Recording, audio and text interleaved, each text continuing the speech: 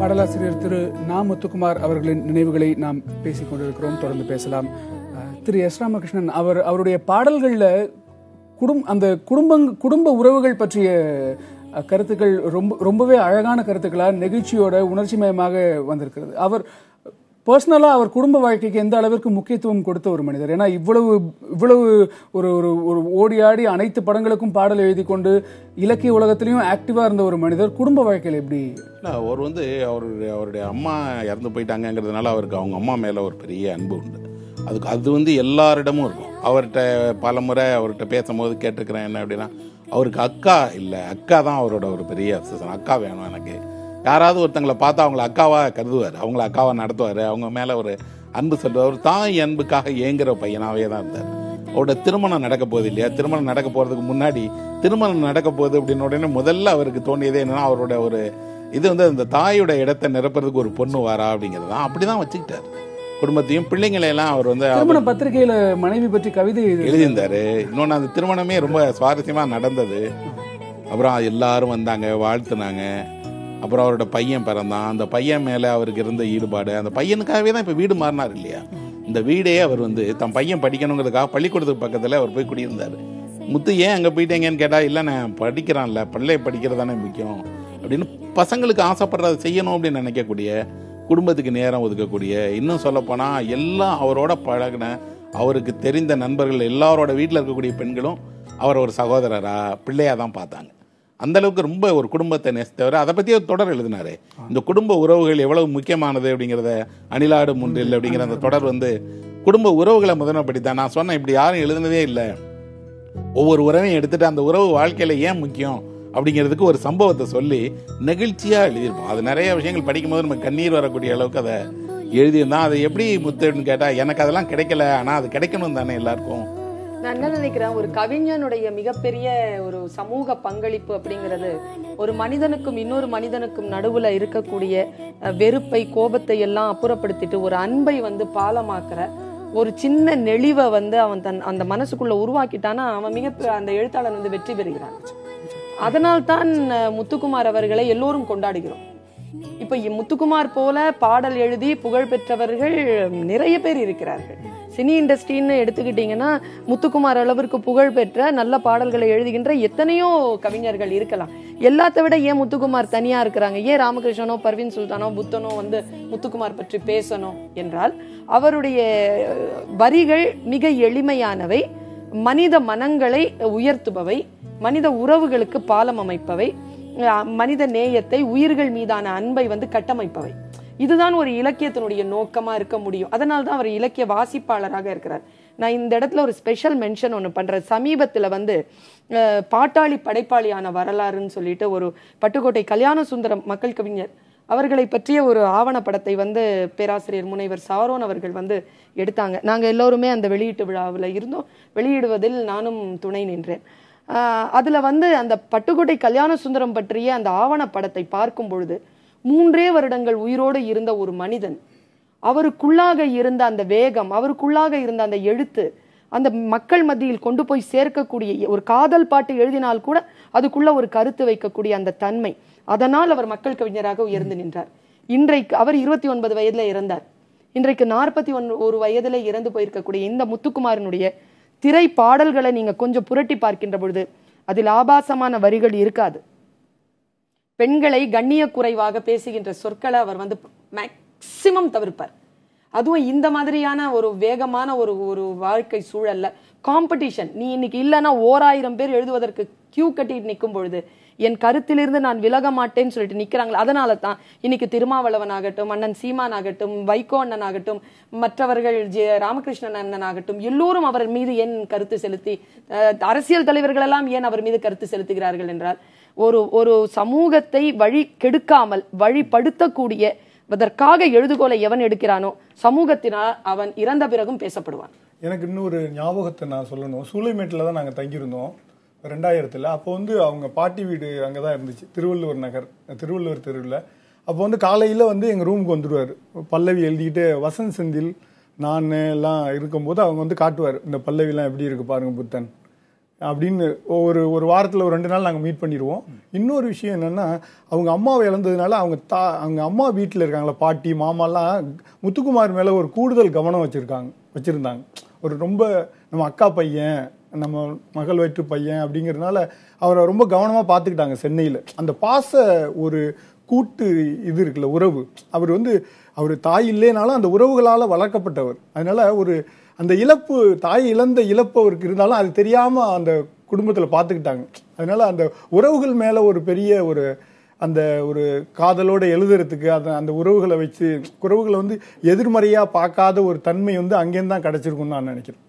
நாம முத்துக்குமார் அவர்களுடைய தனிப்பட்ட அவர் எப்படிப்பட்ட ஒரு மனிதராக இருந்தார் அப்படிங்கறத பற்றிலாம் நிறையா நிறைய பேசிட்டோம். ஒரு ஒரு கலைஞராக அவரை தனித்துவமாக காண்பித்த விஷயம் இது. ஏன்னா நான் முத்துக்குமார் அவர்களுடைய பாடலை கேட்கும்போது இவ்வளவு எளிமையா எளிமையா இருக்குது. எளிமையா நம்மளும் எழுதி பழகலாமே அப்படின்னு தோணும். ஆனா எழுதலான்னு உட்கார்ந்தா அப்பதான் தெரியும். இது முத்துக்குமார் அவர்களால மட்டும்தான் முடியும் அப்படிங்கறது அதுக்கப்புறம் தான் வந்து நமக்கு எந்த விஷயம் அவரை கற்றது தமிழ்ல இப்ப அவங்க சொன்னா நல்லா இருக்கும். கற்றது தமிழ்ல வந்து பறவையே எங்கு இருக்கிறாய் அப்படின்னு ஒரு வரி இருக்கும்.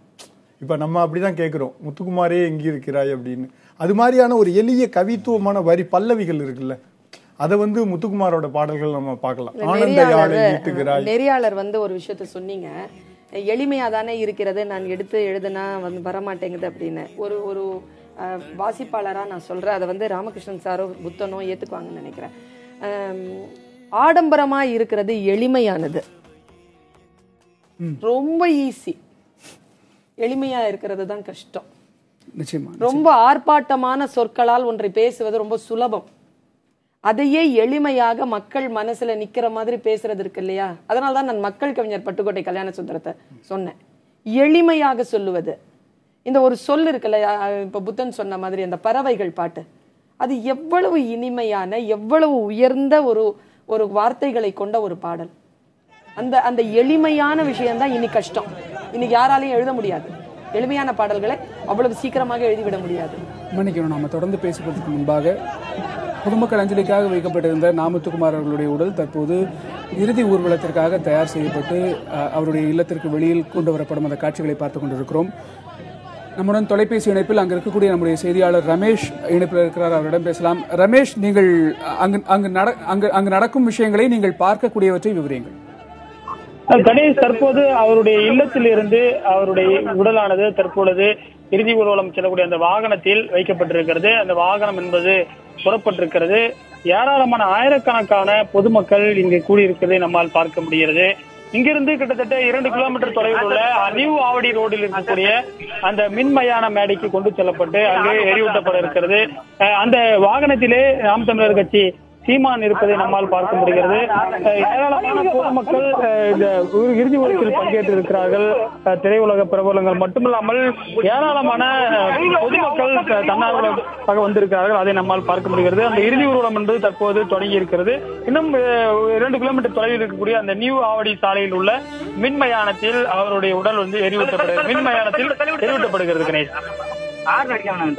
இதற்காக எந்த மாதிரியான ஏற்பாடுகள் செய்யப்பட்டிருக்கிறது ரமேஷ்? ஏன்னா ஆயிரக்கணக்கான மக்கள் வந்திருக்கிறார்கள் அப்படின்லாம் சொல்லியிருக்கிறீங்க. என்ன மாதிரியான ஏற்பாடுகள் அங்கு செய்யப்பட்டிருக்கிறது? பொதுமக்களோடு சேர்ந்து திரையுலக பிரபலங்களும் ஊர்வலமாக செல்ல இருக்கிறார்கள்னு சொல்றீங்க. இதற்காக ஏதாவது சிறப்பு ஏற்பாடுகள் இருக்கிறதா? சிறப்பு ஏற்பாடுகள் காவல் போக்குவரத்து காவல்துறையினர் ஏற்கனவே குவிக்கப்பட்டிருக்கிறார்கள். அவர்களுக்கு அந்த சாலை ஊர்வலம் செல்லக்கூடிய சாலை வந்து சொல்லப்பட்டிருக்கிறது. அந்த வழி வழிநெடுங்கிலும் போக்குவரத்து போலீசார் நிறுத்தப்பட்டிருக்கிறார்கள். நாம் இருக்கக்கூடிய பகுதி அண்ணா நகர் வெஸ்ட் எக்ஸ்டென்ஷன் என்று சொல்லக்கூடிய அண்ணா நகர் மேற்கு விரிவாக்க பகுதியிலிருந்து நாட்டு மெயின் ரோட்ல அவருடைய இல்லம் இருக்கிறது. அங்கிருந்து கிட்டத்தட்ட அந்த பாடி மேம்பாலம் வழியாக சென்று புதிய ஆவடி சாலையில் இருக்கக்கூடிய அங்கு கிட்டத்தட்ட இவருடைய இல்லத்திற்கும் அந்த மின் மயானத்திற்கும் இரண்டு கிலோமீட்டர் தொலைவு இருக்கும் அங்கே வந்து எரிவூட்டப்பட இருக்கிறது. அந்த நம்ம ஏற்கனவே சொன்னது போல திரையுலக பிரபலங்கள் எழுத்தாளர்கள் பெரும்பாலானோர் அந்த இறுதி ஊரத்திலே பங்கேற்றிருக்கிறார்கள். வழி நெடுங்களும் அதிக அளவிலான பொதுமக்கள் இருப்பதை நம்மால் பார்க்க முடிகிறது. ஒரு நாற்பத்தி ஒரு வயதில் ஒரு இளம் வயதில் இயற்கை இயற்கையில் அகால மரணமாக பார்க்கிறார்கள். ஒரு சிலர் தெருக்களிலே அழுகக்கூடிய காட்சிகளை எல்லாம் நம்மால் பார்க்க முடிகிறது. சற்று முன் விடுதலை சிறுத்தைகள் கட்சியுடைய திருமாவளவன் தலைவராக இருக்கக்கூடிய திருமாவளவன் வந்திருந்தார். அவரும் நெகிழ்ச்சியாக பேசியிருந்தார். இது போன்ற பாத்தீங்கன்னா அரசியல் பிரபலங்கள் மட்டுமில்லாமல் எழுத்தாளர்கள் என அனைத்து தரப்பு மக்களையும் சமூகம் கலை இது போன்ற அனைத்து தரப்பு மக்களையும் கவர்ந்தராக இருக்கிறார். பாத்தீங்கன்னா இயக்குனர்கள் சங்கர் உள்ளிட்ட முக்கியமான இயக்குனர்கள் எல்லாம் வந்ததை நம்மால் பார்க்க முடிகிறது. அனைத்து தரப்பு யுவன் சங்கர் ராஜா அவரோட நிறைய பாடலுக்கு இசையமைத்திருக்கூடிய யுவன் சங்கர் ராஜா உள்ளிட்ட பெரும்பாலானோர் வந்திருந்ததை நம்மால் பார்க்க முடியும் எல்லாருடைய முகத்திலுமே ஒரு ஒரு மிகப்பெரிய சோகம் இறுக்கமான சோகம் இருந்ததை நம்மால் பார்க்க முடிந்தது. நடிகர் விஜய் வரும்பொழுது மிகவும் ஒரு சோகமான நிலையில் வந்திருந்தார். அவரும் அந்த ஒரு மின் நீண்ட நேரம் வந்து நடந்தே வந்து அந்த தெருக்களில் நடந்தே வந்து இறுதி அஞ்சலி செஞ்சு நம்மால் பார்க்க முடிந்தது. நிறைய தலைவர்கள் அரசியல் தலைவர்கள் வந்திருந்ததை நம்மால் பார்க்க முடிந்தது. இப்ப அந்த இறுதி ஊர்வலமானது மெல்ல நகர்கிறது. ஏனென்றால் பாத்தீங்கன்னா அந்த தெரு முழுவதுமே ஆயிரக்கணக்கான மக்கள் குழுமி இருக்கிறார்கள். அந்த வாகனம் வந்து ரொம்ப த- ரொம்ப மெதுவாக தான் செல்கிறது. ஏனென்றால் அந்த அளவுக்கு பொதுமக்களுடைய கூட்டம் இருக்கிறது. ஏனென்றால் இவர் பெரிய ஒரு எழுத்தாளர் நீங்கள் சொன்னது போல எளிமையாக அனைவருக்கும் புரியக்கூடிய வகையில் எழுதக்கூடிய எழுத்தாளர் வந்து இன்றைக்கு அஹ், இறந்திருக்கக்கூடிய சூழலில் அவருக்கு அந்த பகுதியில் இருக்கக்கூடிய மக்களே வந்து தன்னார்வலாக அவருக்கு வா- வருந்துகிறோம் என்றெல்லாம் வந்து அஹ், போர்டு எல்லாம் வ- வழிநடங்களும் அஹ், வைத்திருக்கிறார்கள் இது போன்ற காட்சிகள் ஒரு சோகமான ஒரு ஊர்வலமாக தான் நம்மால் பார்க்க முடிகிறது கணேஷ். ரமேஷ் மேலதிக தகவல்களுக்கு மீண்டும் உங்களை தொடர்பு கொள்கிறோம். தற்போதைய தகவல்களுக்கு நன்றி. அதே போல இந்த தருணத்தில் அஹ், நா முத்துக்குமார் அவர்கள் மக்களுக்கான ஒரு கவிஞராக பாடலாசிரியராக எப்போதும் மக்களோடு மக்களாகவே இணைந்திருந்த ஒரு அஹ், ஒரு ஒரு ஒரு கலைஞர் என்று சொல்லலாம். ஆகவே பொதுமக்களாகிய நீங்களும் இந்த நிகழ்ச்சியை பார்த்துக் கொண்டிருக்கின்ற நீங்களும் அவருக்கான அவருடைய அவருக்கான இரங்கல் செய்தியை நம்முடன் இந்த தருணத்தில் பகிர்ந்து கொள்ளலாம். அதற்கான தொலைபேசி எண்களும் நாம் திரையில் நீங்கள் இப்போ பார்க்கலாம். நாம் தொடர்ந்து பேசலாம். திரு எஸ் ராமகிருஷ்ணன் அவருடைய பாடல் வரிகளில் இருக்கக்கூடிய எளிமை பற்றி நாம் பேசிகிட்டு இருந்தோம். நீங்கள் இல்லை அவரோட பாடல்களுடைய தனித்துவம்னா இப்போ எனக்கு அவரோட பாடலில் ரொம்ப பிடித்த பாட்டு வெயில் படத்தில் வெயிலோடு விளையாடின்னு ஒரு பாட்டு எழுதியிருக்கிறார். அந்த பாட்டு ரொம்ப எனக்கு ரொம்ப நெருக்கமான பாட்டு. ஏன்னா நான் வெயிலை ஆராதிக்கிறவன். வெயிலை பற்றி நிறைய எழுதியிருக்கிறவன். வெயில் உள்ள ஊரில் பிறந்தவன். வெயில் தான் எனக்கு தெரிஞ்ச உலகம். இவர் பிறந்த காஞ்சிபுரத்தில் இருந்தவர். அந்த கதை நடக்கிற அந்த களம் வந்து ஒரு விருதுநகர் மாதிரியான ஒரு ஊரில் நடக்கிற அந்த வாழ்க்கையை ஒரு பாடலில் முழுவதும் எழுதியிருப்பார். இன்னொன்று அந்த பாலியம் அந்த பாலியத்தில் விளையாண்ட விளையாட்டுகள் அந்த வெயிலில் தெரிஞ்ச பசங்களோட மனது என்னங்கிறத அவருக்கு எப்படி தெரியும்? அந்த பாடலை வசந்த பாலன் அவர்களும் இவரும் இணைந்து எழுதினாங்க. எழுதுகிற நாட்களில் நான் அவரை பார்த்துருக்குறேன். ஒவ்வொரு நாளும் புதிய புதிய வரிகளை சொல்லிக்கிட்டே இருப்பார் வெயிலை பற்றி ஓராயிரம் வரிகளை எழுதி அதிலிருந்து மிகச்சிறந்த வரிகளை தேர்வு பண்ணி அந்த தேர்வு பண்ண வரிகளுக்கு இசையமைத்து அப்படிதான் அந்த வெயிலோடு விளையாடிங்கிற பாடல் உருவானது. அந்த பாடல் வந்து அவ்வளோ ஒரு அற்புதமான பாடல். எப்போ அந்த பாடலை கேட்கும் போது எனக்கு நான் என்னுடைய ஒரு பதினேழுக்கே திரும்பி போகிற பாலியத்துக்கு திரும்பி போன ஒரு நினைவை கொடுக்குது. இது எனக்கு இல்லை அந்த பகுதியை சேர்ந்த எல்லாருக்குமே வெயிலோட அருமையை ஒருத்தர் பாடியிருக்கிறாரு. நிறைய பேர் என்கிட்ட அந்த பாடல் வெளியாகி புகழ் பெற்று எல்லாம் முடிஞ்ச பின்னாடி அவர் உங்கள் ஊரா? அப்படின்னு கேட்டிருக்காங்க. நான் அவர்கிட்ட கேட்டேன் உனக்கு எப்படி எப்படின்னு எல்லாம் அது வந்து நான் எழுதுறதுக்காக எனக்கு தெரியாத வாழ்க்கை. ஆனால் நான் தெரிஞ்சுக்கிட்டேன் படித்தேன் தெரிஞ்சுக்கிட்டேன் பேசினேன் விவாதித்தேன் அப்போ ஒரு பாடல் வந்து ஒரு திரைப்படத்தில் வருது பொழுதுபோக்குங்கன்னு அவன் எடுத்துக்கிட்டவே இல்லை. அதை தாண்டி அது வழியாக ஏதாவது சொல்லிட முடியுமா? அந்த பண்பாட்டை காட்டிட முடியுமா? அந்த மக்களோட சின்ன சின்ன நினைவுகளை எல்லாம் சொல்லிடலாம். அப்புறம் அவருக்கு அவரோட பாலியத்திலேருந்து நடந்த எல்லா விஷயத்துக்குள்ளேயும் வெயில் எப்படி வந்தது அப்படின்னு. அப்புறம் பாடல் வெளியாகி அந்த பாடலுக்கு பெரிய அங்கீகாரம்லாம் கிடைத்த பின்னாடியும் கூட சந்திக்கிற சந்தர்ப்பங்களிலெல்லாம் அந்த பாடலுக்கான அவருடைய முனைப்பை பற்றி பேசி வியந்திருக்கும். ஒரு மெட்டின் மீது வார்த்தைகளை போட்டு நிரப்பி அதை ஒரு பாடலாக்கி கொடுத்து அடுத்த பாடலுக்கு தாவி போகிற பாடலாசிரியர்களுக்கு மத்தியில இந்த அளவிற்கு மெனக்கெடலோட ஒவ்வொரு பாடலையும் அவர் வந்து அணியிருக்கார் அப்படிங்கிறது வியப்பான ஒரு தகவலா இருக்கு. தொடர்ந்து இந்த தேடல் அப்படிங்கிறது அவருக்கு எப்படி சாத்தியமாகி இருக்கும்? ஏன்னா அது வந்து இப்ப அதற்கான நேரம் அவருக்கு எப்படி ராமகிருஷ்ணன் சொல்றது மாதிரி பயணங்கள் தான். பயணங்கள் அப்புறம் வந்து வாசிப்பு வெவ்வேறு ஒவ்வொரு நிலப்பரப்புகளை வந்து பார்க்குற ஒரு அனுபவம் பல்வேறு காட்சிகளை வந்து பார்க்கறது சாதாரண எளிய மனிதர்களோட வாழ்க்கையை வந்து தரிசனம் பண்ணுறது பல்வேறு படைப்பாளர்கள் இவங்க மாதிரி நண்பர்கள்ட்ட வந்து அடிக்கடி உரையாடுவது புதிய கவிதை தொகுப்புகள் ஒரு நூல்கள் நாவல் இது மாதிரியான ஒரு வா எல்லாமே கலந்த ஒரு இதில் அவருடைய க அவர்கிட்டே இருக்கிற அந்த கவித்துவ உணர்வு கவிதை எழுதுகிற திறன் வந்து அது மாதிரியான ஒரு எளிய பாடல்களை மக்களுக்கு வந்து கொடுத்துச்சு. ஒரு தலைமுறை மாறும்போது அந்த பழைய இதுலேருந்து ஒரு விடுபட்ட ஒரு புதிய ஒரு பாடல் வரிகளை வந்து மக்கள் கேட்கறதுக்கு நாமுத்துக்குமார் வந்து காரணமாக இருந்தார். அதுக்கு காரணம் அந்த அனுபவம் தான். பயணம் வாசிப்பு அப்புறம் தொடர்ந்த ஒரு விவாதங்களில் படைப்பாளர்களோடு ஏற்படுகிற அந்த நட்பு இது எல்லாமே கலந்த ஒரு இதுதான் பாடல் முத்துக்குமார் பாடல் வரிகளுக்கான ஒரு காரணமாக நம்ம நினைக்கலாம். அவர்கிட்ட வந்து அவரோட படித்த புத்தகங்கள்லாம் எவ்வளவுனா ஒரு கவிஞர் கவிதை படிப்பார் கவிதை சார்ந்த விஷயங்களை படிப்பார்ல நாவல்கள் சிறுகதைகள் கட்டுரைகள் வாழ்க்கை வரலாறு. எல்லா அநேகமாக எல்லா முக்கியமான படைப்பாளிகளோட நாவல்களையும் படிச்சுட்டு உடனே ஃபோன் பண்ணி அவங்களோட பேசி அப்புறம் இவ்வளோ பரபரப்பான ஒரு பாடல் எழுதக்கூடிய நெருக்கடியிலையும் கூட இலக்கிய விழாக்களுக்கு நீங்கள் எது கூப்பிட்டாலும் வருவார். வந்திருக்காரு பேசியிருக்கிறாரு அதுக்காக படிச்சுட்டு வருவார் பயணம் பண்ணுவார் பேசுறது. அப்புறம் பவா செல்லத்துறையினுடைய வீட்டுக்கு திருவண்ணாமலைக்கு அடிக்கடி போவார். நானும் போயிருக்கிறேன். அவங்க வீட்டிலோட அவருக்கு இருக்கிற உறவு இருக்கு இல்லையா? அற்புதமான ஒரு உறவு. அங்கேயே தங்கி விரும்பினதெல்லாம் சமைக்க சொல்லி சாப்பிட்டு தோட்டத்தில் படுத்து நீந்தி குளித்து அந் தன்னை நேசிக்கிற மனிதர்களோட தான் வந்து நான் ஒருத்தன் அவங்க கூட நான் உங்களோட ஆள் தான் அப்படின்னு சொல்லி காட்டிக்கிறதும் இணைந்து இருக்கிறதும் பகிர்ந்து தர்றதும் எல்லாம் தர அந்த புத்தகங்களை படிச்சுட்டு அவர் பேசும்போது நமக்கே ஆச்சரியமா இருக்கும். குறுக்கிடுவதற்கு மன்னிக்கணும். நம்ம ஏற்கனவே குறிப்பிட்டதை போல அவருடைய சொந்த ஊரான காஞ்சிபுரத்தில் இருந்து ஒரு ஒரு நேயர் தற்போது தொலைபேசி இணைப்பில் இருக்கிறார். துரைசாமி துரைசாமி திரு நா முத்துக்குமார் அவர்கள் உங்களை எந்தெந்த விதங்களில் பாதித்திருக்கிறார்? அவரை நீங்கள் ரசித்த விஷயங்கள் என்ன? என்ன பகிர்ந்து கொள்ள விரும்புகிறீர்கள்? அதாவது நான் வந்து அண்ணன் அறிவுமதி அலுவலகத்துல நான் பார்த்துருக்கேன். எப்படின்னு கேட்டீங்கன்னா நான் வந்து தியாகராய நகர்ல தான் தற்சமயத்துல இருக்கேன். அதாவது பாத்தீங்கன்னா நான் தொண்ணூறுல இருந்து இருக்கேன். ஒரு யதார்த்தமா இதுல தான் அவர் எனக்கு பழக்கம். ஏன்னா எனக்கு அண்ணன் அறிவுமதி வந்து நல்லா தெரியும் எனக்கு. சரிங்க. நான் சில புக்ஸ் எல்லாம் கேட்பாரு அதை எடுத்துட்டு போய் நான் கொடுப்பேன். உண்மையிலே நான் வந்து பாத்தீங்கன்னா எதிர்பார்க்கவே இல்லை. இந்த மாதிரி ஒரு ஒரு இது நடக்கும்ட்டு. ஒண்ணு. ரெண்டாவது பாத்தீங்கன்னா அவர் வந்து ஒரு ஒரு சிந்தனைகளை எல்லாமே பாத்தீங்கன்னா அவர் வந்து எல்லாமே ரைட்டிங்ல தான் இருக்கும். அது கவிதை தத்துவமா எனக்கு சொல்ல தெரியல. எல்லாமே பாத்தீங்கன்னா ஒரு ஒரு வார்த்தையுமே வந்து நம்ம பேசுறத கூட வந்து அவர் லிசன் பண்ணுவாரு. அதுல இருந்து எதனா ஒரு வந்து வேர்ட்ஸ் அதாவது பாத்தீங்கன்னா அந்த இந்த கவிதைகள் இதெல்லாம் எதனா கிடைக்குமான்றத பாப்பாரு நம்மளே சில டைம்ல வந்து சொல்ல வைப்பாரு. எதனா சில வார்த்தைகள் சொல்லுங்களேன் அப்படின்ட்டு. எப்படின்னா நான் வந்து பாத்தீங்கன்னா அந்த மாம்பழ இருக்கு பாத்தீங்களா? தியாகராய நகர் அதான் மாம்பழம் ரயில்வே ஸ்டேஷனு. அந்த மாதிரி இடத்துலாம் அப்படியே நட அப்படியே ரெண்டு பேரும் சேர்ந்து கூட நடந்து வந்திருக்கோம். நடந்து வந்து தோல்ல நல்லா அதுவா பேசிட்டு வருவாரு. இது ஜீர்ணிக்க முடியாத ஒரு இதுங்க. அதுவும் காஞ்சிபுரத்துல இருந்து பேரறிஞர் அண்ணா அந்த மாதிரி பெரிய பெரிய கலைஞர்கள்லாம் வந்ததுல இருந்து இவரும் ஒருத்தர் இருக்காருன்னு நினைச்சோம் நாங்க. நன்றி நன்றி திரு துரைசாமி. இந்த தருணத்தில் உங்களுடைய நினைவுகளை பகிர்ந்து கொண்டதற்கு நன்றி. இது மாதிரியான அனுபவங்கள் நிறைய பேருக்கு இருந்திருக்கும் இல்லையா? ஏன்னா எல்லா எல்லார்கிட்டையும் அவர் வந்து ரொம்ப அன்போடு அனைவரிடம் பழ- பழகிய ஒரு மனிதர் அப்படிங்கிறதுனால நிறைய பேருக்கு இந்த மாதிரியான அனுபவங்கள் இருக்கும். இப்போ நம்மளுடைய இந்த அடுத்த தலைமுறை வந்து கூர்ந்து கவனிக்க வேண்டிய விஷயம் என்னன்னு சொன்னா உடல் நலத்தை பாதுகாத்துக் கொள்ள வேண்டும் என்பது ஒன்று. இரண்டு ஒரு மனிதர் புகழ் பெறுகிறார் என்பது. எனக்கு நா முத்துக்குமார் அவர்களை பற்றி இப்போ பேசும்பொழுது அவர் வந்து பிரபலமானவர் இல்லை. ஆனால் புகழ் பெற்றவர்.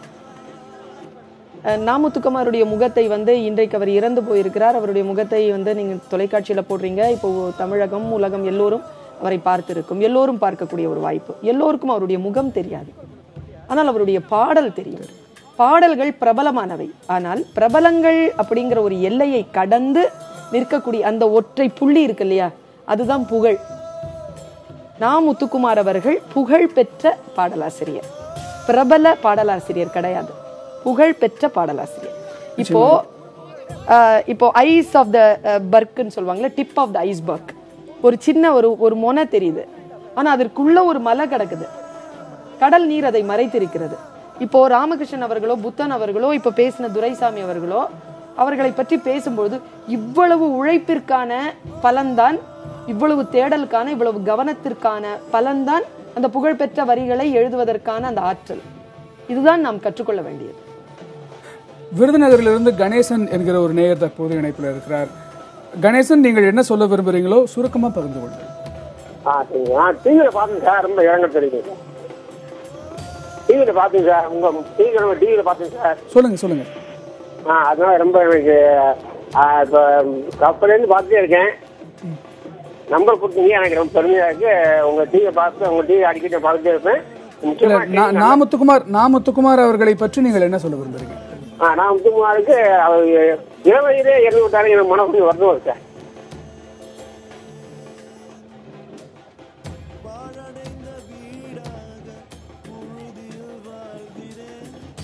அடுத்தபடியாக தமிழாசிரியர் ஒருவர் தற்போது நம்முடன் இணைப்பில் வந்திருக்கிறார். அவரிடம் பேசலாம். வணக்கம் சார். உங்களுடைய பெயர் என்ன? எங்கிருந்து பேசுறீங்க? என்ன சொல்ல விரும்புறீங்க? ஐயா நான் திண்டுக்கல் புனித மரியன்னை மேல்நிலை பள்ளியில தமிழாசிரியரா பணி செய்யறேன் என் பேரு வந்து வி. குழந்தைராஜ் விகுராங்கிற பேர்ல எழுதிக்கிட்டு இருக்கிறேன். சரிங்க. நான் சென்னையில வந்து சைதாப்பேட்டை பிஎட் காலேஜ்ல படிக்கும் போது கவிதை போட்டிக்கு போவோங்க ஐயா சரிங்க. முதல் முதல்ல கிறிஸ்டியன் காலேஜ் சென்னை கிறிஸ்டியன் கல்லூரியில் நடந்த ஒரு கவிதை போட்டியில தான் நான் முத்துக்குமார் சந்திச்சேன். இன்குலாப் ஐயா தான் வந்து நடுவரா இருந்தாங்க. அப்போ அவருக்கு முதல் பரிசு கிடைச்சது. அன்னையில இருந்து நாங்க ரெண்டு பேரும் நண்பர்களா இருந்தோம். அப்போ அவர் என்ன கவிதை எழுதியிருந்தாருன்னு உங்களுக்கு நினைவு இருக்குதா? ஒரு ஒரு அந்த குறியீடு மட்டும் இயற்கைங்கிற தலைப்புல அவர் எழுதியிருந்தாரு. வாழை உரையை கிழித்து கொண்டு நெல்லை நெல்மணி முளைக்கிறத பத்தி எழுதும்போது வா- உரையை கிழித்து கொண்டு வரும் வாழை போல நெல்மணி புள்ளில் இருந்து வெளியே வந்தது தரையில் இருந்து வெளியிலே வந்ததுன்னாரு. இன்குலா பையா மறுபடியும் மறுபடியும் அதை பாராட்டி அவருக்கு முதல் பரிசு கொடுத்தாரு. அதுல இருந்து நாங்க ரெண்டு பேரும் நண்பர்களா இருந்தோம். பேராசிரியர் பணி கிடைச்சு கூட அவர் போகல. நான் ரெண்டாயிரத்தி அஞ்சுல பிஹெச்டி பண்றதுக்கு அவரை சந்திச்சு உங்க கவிதையில தான் நான் பண்ணணும் அப்படின்னு கேட்டேன். வேணாம் நண்பரே வேற இதுல பண்ணுங்கன்னாரு. ஆனா நான் சொன்னேன் உங்க இதுல பண்ணுவேன் நான் பண்ணி முடிக்கிறதுக்குள்ள நீங்க பெரிய ஆள் ஆயிடுவீங்க அப்படின்னு சொன்னேன். போன ஆண்டு நான் நெருக்கி பிஹெச்டி முடிக்க போனேன். அதுக்குள்ள அவரும் பிஹெச்டி முடிச்சாரு. பேராசிரியரா பண்ணி கூட போகாம ஒரு குறுகிய காலத்துல நான் சொன்னது மாதிரி நிறைய சாதனைகளை பண்ணாரு. ஆனா திடீர்னு அவர் இறந்தது மிக வருத்தமா இருக்குது. அவருடைய இரண்டு குழந்தைகள் நல்லா தெரியும். ஆனா அந்த ரெண்டாவது குழந்தை பிறந்ததை நான் பார்க்க போக முடியல. அது ரொம்ப வருத்தமா இருக்கு. கவிஞர் விகுரா என் பேரு. விகுரான்னு போட்டிருக்கு. விகுரா வி குழந்தைராச்சுங்கய்யா மன்னிக்கணும் மன்னிக்கணும். அந்த தவறுக்கு மன்னிக்கணும் ஐயா. உங்களுடைய உங்களுடைய நினைவுகளை பகிர்ந்து கொண்டதற்கு ரொம்ப நன்றி. அவர் சொன்னதைப் போல ஆரம்ப காலங்கள்லேருந்து அந்த போட்டிகள்ல எல்லாம் போய் அதுல தான் அவர் பட்டை பட்டை தீட்டப்பட்டார் ஒன்று சொல்லணும். நான் மறந்துட்டேன் தாம்பரம் கிறித்தவ கல்லூரியில் வனம்னு ஒரு க- பேராசிரியர் பாரதி புத்திரன் வந்து ஒரு வனம்னு ஒரு கவிதை நிகழ்வு வச்சுருந்தார். ஒவ்வொரு மாதத்தில் ஒரு இல்லாட்டி வாரத்தில் ஒரு நாள் ஞாயிற்றுக்கிழமையோ ரெண்டாவது சனிக்கிழமை இது மாதிரி ஒரு நாள் அங்கே போய் நாமத்துக்குமார் வந்து கவிதை வாசிச்சிருக்கார். அந்த மாணவனாக இருக்கும்போது அந்த பா திரைப்படத்துக்கு முயற்சி செய்யும் போது அந்த வனமும் முக்கியமான ஒரு கட்டம். அப்போ தான் அங்கே தான் கிறித்தவ கல்லூரியில் தான் கட்டுரை தமிழ் ராம் வந்து எம்ஏ தமிழ் மாணவர். கட்டுரை தமிழ் ராம் அந்த சரவணன் சந்திரன் இப்போ நாவல் எழுதிக்கிட்டு இருக்க சரவணன் சந்திரன் எல்லாம் கிறித்தவ கல்லூரி மாணவர்கள். அப்பதான் அந்த வனத்துல தான் ஒரு நண்பர்கள்லாம் ப- கவிஞர் பச்சியப்பன் இவங்கெல்லாம் அறிமுகமாகுறாங்க. அந்த வனம் கூட முத்துக்குமாரை உருவாக்குனதுல ஒரு பங்கு. இப்போ அபிபுல்லாஸ் அறிவுமதி எப்படி நம்ம சொல்றோமோ அது மாதிரி வனத்தையும் நம்ம மறக்க முடியாது. முத்துக்குமார் வாழ்க்கையில வனமும் ஒரு ஒரு ஒரு முக்கியமான இடத்துல இருக்கு. அவர் தன்னுடைய அடுத்த கட்டத்தை எப்படி திட்டமிட்டு இருந்தார்னு இல்ல அவரோட அவர் விரும்பியதும் அவர் அதற்காக முனைந்ததும் திரைப்பட இயக்குனர் ஆகணுங்கிறது தான். அவர் திரைப்பட இயக்குனர் ஆகணுங்கிறதுக்காக தான் பாலமகேந்திர ஐயாவோட உதவியாளராக இருந்தாங்க. திரைப்படத்தை கற்றுக்கிட்டாரு திரைப்பட இதாக இருந்தார். பாடல் எழுதணும்னு போகும்போது கூட பாலுமகேந்திரா சொன்னார் நீ யோசிச்சுக்கோ. திரைப்பட இயக்குனராக போறியா பாடலாசிரியாக போகிற போது இவருக்கு ஒரு தடுமாற்றம் இருந்தது. நாம் போகிறது சரிதானான்னு போய் ஜெயித்து பெரிய இடத்துக்கு போனால் கூட திரைப்படம் பண்ணணும் திரைப்பட இயக்குனர் ஆக்கணும். அப்புறம் அதுக்கான கதைகளை அவர் யோசிப்பார். யோசிக்கிற தருணங்களில் பேசுவார். இப்படி ஒரு கதை இருக்குது அதை நம்ம பண்ணலாமா? இது வந்து திரைப்படத்துக்கு இதாகுமா? அப்படின்னு. பாலுமகேந்திரா அவர்களுடைய பள்ளியிலிருந்து வந்த அந்த இயக்குனர்கள் வரிசையில் வந்திருக்க வேண்டிய முக்கியமான ஒரு தருவர். அந்த சந்தர்ப்பம் நழுவி போயிடுச்சுங்கிறத தவிர ஆனால் அதுக்கான எல்லா தகுதியும் திறமையும் இன்னும் சொல்லப்போனால் அவரிடமிருந்து அந்த கலையை முழுமையாக கற்றவர்கள் அவர் ஒருத்தர் அப்ப தொடர்ந்து அவர் இயக்குனராகும் அந்த அந்த தேடல் தொடர்ந்து இருந்துகிட்டே தான் இருந்ததா? இப்பவும் இருந்தது. இப்பவும் கடந்த ஆண்டு இதுக்காக ஒரு கதையை நாங்கள் பேசணும். ஒரு பதினைந்து நாட்களுக்கு மேலே தினசரி நாங்கள் சந்தித்து அந்த கதையை பேசணும். ஒரு படத்தை அவர் பண்ணலாம் அப்படிங்கிறதுக்கான அவர் முனைந்தார். அதுக்கான அடிப்படை விஷயங்களை திட்டமிட்டோம். என்ன அப்படின்னா அவரோட பணிச்சுமை இருக்கு இல்லையா? அவர் எழுத வேண்டிய பாடல்கள் தர வேண்டிய விஷயங்கள் இது வந்து அவரை இழுத்துட்டு போக ஆரம்பிச்சிருச்சு. அவருக்கு தெரிஞ்சது அதை விட்டால் தான் இதை செய்ய முடியும். ஆனால் அதை விட முடியாது. அப்போ அவர் தோணுச்சு ஏதாவது ஒரு தருணத்தில் நம்மளே அதை வந்து குறைச்சிக்கிடலாம். குறைச்சிக்கிட்டு நம்ம திரைப்படத்தில் வந்து முழுமையாக கவனம் செலுத்தலாம். ஆனால் நாம் திரைப்படம் பண்ணணும். அதிலும் குறிப்பாக பாலமகேந்திரா அவர்களுடைய மறைவுக்கு அப்புறம் அவருக்கு அந்த இயக்கம் ரொம்ப தீவிரமாக இருந்தது. அவரோட மாணவர்களில் மற்றவங்கெல்லாம் அவர் முன்னாடி படம் பண்ணி காட்டினாங்க. என்ன கதைக்களம் அவர் தேர்வு செய்தார்? என்ன என்ன மாதிரி அவர் வந்து அவருடைய அவர் அவரோட வாழ்க்கையவே தான் அவர் இந்த மாதிரி காஞ்சிபுரத்தில் அவங்க மாதிரியான ஒரு குடும்பத்திலேருந்து வந்த ஒரு தான் சென்னை மாதிரி ஒரு நகரத்தில் தன்னோட அடையாளத்துக்காக எவ்வளோ போராடுறாங்கிறத தான் அவர் கதைக்களமாக எடுத்திருந்தார். நான் சொன்னேன் "அது உன் கதை தானே அப்படின்னு. நான் கவிஞர் ஆகிட்டேன் கவிஞர் ஆகலை. ஒருத்தன் காஞ்சிபுரத்துல இருந்து வந்து சென்னைக்கு வாழ்க்கையை தேடி வந்தானா அவன் என்ன ஆவான்? அவனுக்கு இந்த நகரம் என்ன கொடுக்கும்? நீங்களாம் வந்தீங்க இல்லையா? இப்போ உங்கள்கிட்ட எல்லாம் சொல்லலாம் தானே. என்ன கொடுத்துச்சு உங்களுக்கு? சொன்ன எல்லாருக்கும் இந்த நகரம் கொடுக்கும். ஆனால் அதுக்கான அந்த போராட்டத்தை நீங்கள் சந்திக்கலாம் நான் சென்னையை ரொம்ப நேசிக்கக்கூடிய ஒரு மனிதன். ஏன்னா இங்கே ஜெயித்த எல்லாருக்கும் இந்த ஊர் ஏதோ கொடுத்துருக்கு. கொடுக்கும். ஆனால் அது எளிதாக கிடைக்காது. நீங்கள் போராடணும் காத்திருக்கணும் பொறுமையோடு இருக்கணும். ரொம்ப காத்திருந்தான். அந்த வகையில் முத்துக்குமாரை சொல்லணும் கிட்டத்தட்ட பத் பல ஆண்டுகள் காத்திருந்தான். அவனுடைய எந்த வெற்றியும் எளிதாக கிடைச்சிருக்கு எல்லாத்துக்கும் காத்திருந்தான். ஒரு தேசிய விருதுக்கும் இன்னொரு தேசிய விருதுக்கும் கூட வந்து காத்திருந்தான். தமிழ் திரையுலகம் ஒரு நல்ல பாடலாசிரியரை மட்டுமல்ல ஒரு மிக மிக யதார்த்தமான ஒரு ஒரு சினிமாவையும் தமிழ் சினிமா. பண்ணியிருந்தா நிச்சயமாக ஒரு நல்ல தரமான ஒரு நியாயமான படத்தை பண்ணியிருப்போம் இப்போ முத்துக்குமார் உயிரோட மேலூரில் மேலூர்ல இருந்து பொன்னின்னு ஒரு நேயர் இப்போ இணைப்பில் வந்திருக்கிறாங்க. அவங்க கிட்ட பேசலாம். அஹ், வணக்கம் பொன்னி. என்ன சொல்ல விரும்புறீங்க? சுருக்கமா சொல்லுங்க. சார் அவங்களோட அவங்களுக்கு வந்து திரை உலகினர் அவரோட குடும்பத்துக்கு திரை உலகினர் கண்டிப்பா உதவி செய்யணும் சார். அவங்க ரெண்டு சின்ன பிள்ளைங்கள வச்சுட்டு இருக்காங்க அதுதான் சார் எனக்கு ரொம்ப காலை எடுத்து பார்த்து ஒரே அழுகையா இருக்கு சார் அதை பார்த்துட்டு. கண்டிப்பா நீங்க உதவி செய்யணும் சார். ஹலோ? உங்- உங்களுடைய அக்கறைக்கு ரொம்ப நன்றி. ரொம்ப நெகிழ்ச்சியான ஒரு விஷயமா நான் பார்க்குறேன் யாருன்னே முகம் தெரியாத ஒருத்தர். நீங்கள் சொன்னதை போல புகழ்பெற்ற கவிஞர் அப்படிங்கிறதுக்கான ஒரு உதாரணம். முகம் தெரியாத ஒரு நேயர் எங்கிருந்தோ தொலைபேசியில் அழைத்து நாமத்துக்குமார் அவர்களுடைய குடும்பத்துக்காக வந்து பேசுறாங்கும் போது அது ஒரு திரையுலகில் நம்ம வந்து அவருடைய நிலைமை அவர் குடும்பத்தோட நிலைமை தெரிந்து திரையுலகில் அதை செய்வாங்கன்னு நான் எதிர்பார்க்குறேன். அந்த உதவியை அவங்க வந்து செய்வாங்க அப்படிங்கிற ஒரு இது எனக்கும் அந்த அந்த நம்பிக்கை இருக்குங்க அந்த பொறுப்பு திரையுலகத்துக்கு இருக்கு. அது திரையுலகை சார்ந்தவர்கள் இன்று இன்னைக்கு வந்து விஷால் அவர்கள் வந்து திரையுலகை சார்ந்தவர்களுடைய உடல்நலம் அஹ், பேணப்பட வேண்டும் அப்படிங்கிற ஒரு ஒரு மிகப்பெரிய ஒரு ஒரு விஷயத்தை நாமுத்துக்குமார் அவர்களுடைய மரணம் காட்டியிருக்கிறதுன்னு ட்வீட் போடுறாரு அப்படின்னா அதே நேரத்தில் நாமுத்துக்குமார் அவர்களுடைய குடும்பத்தை கவனித்துக் கொள்ள வேண்டிய பொறுப்பும் அவர்களுக்கு நிச்சயமாக இருக்கிறது. அதை நம்மை போன்ற ஊடகங்கள் நிச்சயமாக அறிவுறுத்த வேண்டும் அறிவுறுத்துவார்கள் என்று இந்த நேரத்தில் சொல்லிக்கலாம். நீங்க சொல்லிட்டு இருந்தீங்க ஒரு ஒரு ஒரு இயக்குனராக வேண்டும் அப்படிங்கிற வேட்கை அவருக்கு எப்படி இருந்தது அவருடைய கதைகள் பற்றிலாம் சொல்லிட்டு. ஆமாம் அவர் இன்னொன்று கூட இருக்கும். அவர் வந்து திரைப்படங்களை பார்க்க விரும்புகிறவர் அதுலேயும் சர்வதேச திரைப்படங்களை நாங்களே பலமுறை இன்டர்நேஷனல் ஃபிலிம் ஃபெஸ்டிவலுக்கு போயிருக்கிறோம். அது இப்போ இல்லை. டெல்லியில் நடக்கிற நாட்களில் இங்கேருந்து நீங்கள் டெல்லிக்கு தான் போய் படம் பார்க்க போகணும். அந்த டெல்லிக்கு போகிறதுக்காக நாட்களை ஒதுக்கி டிக்கெட் போட்டு இங்கேருந்து டெல்லிக்கு போய் பத்து நாட்கள் வந்து இந்த ஸ்ரீ ஃபோர்ட்டில் வந்து நான் படம் பார்த்துருக்கோம் என் கூட வந்திருக்கான்.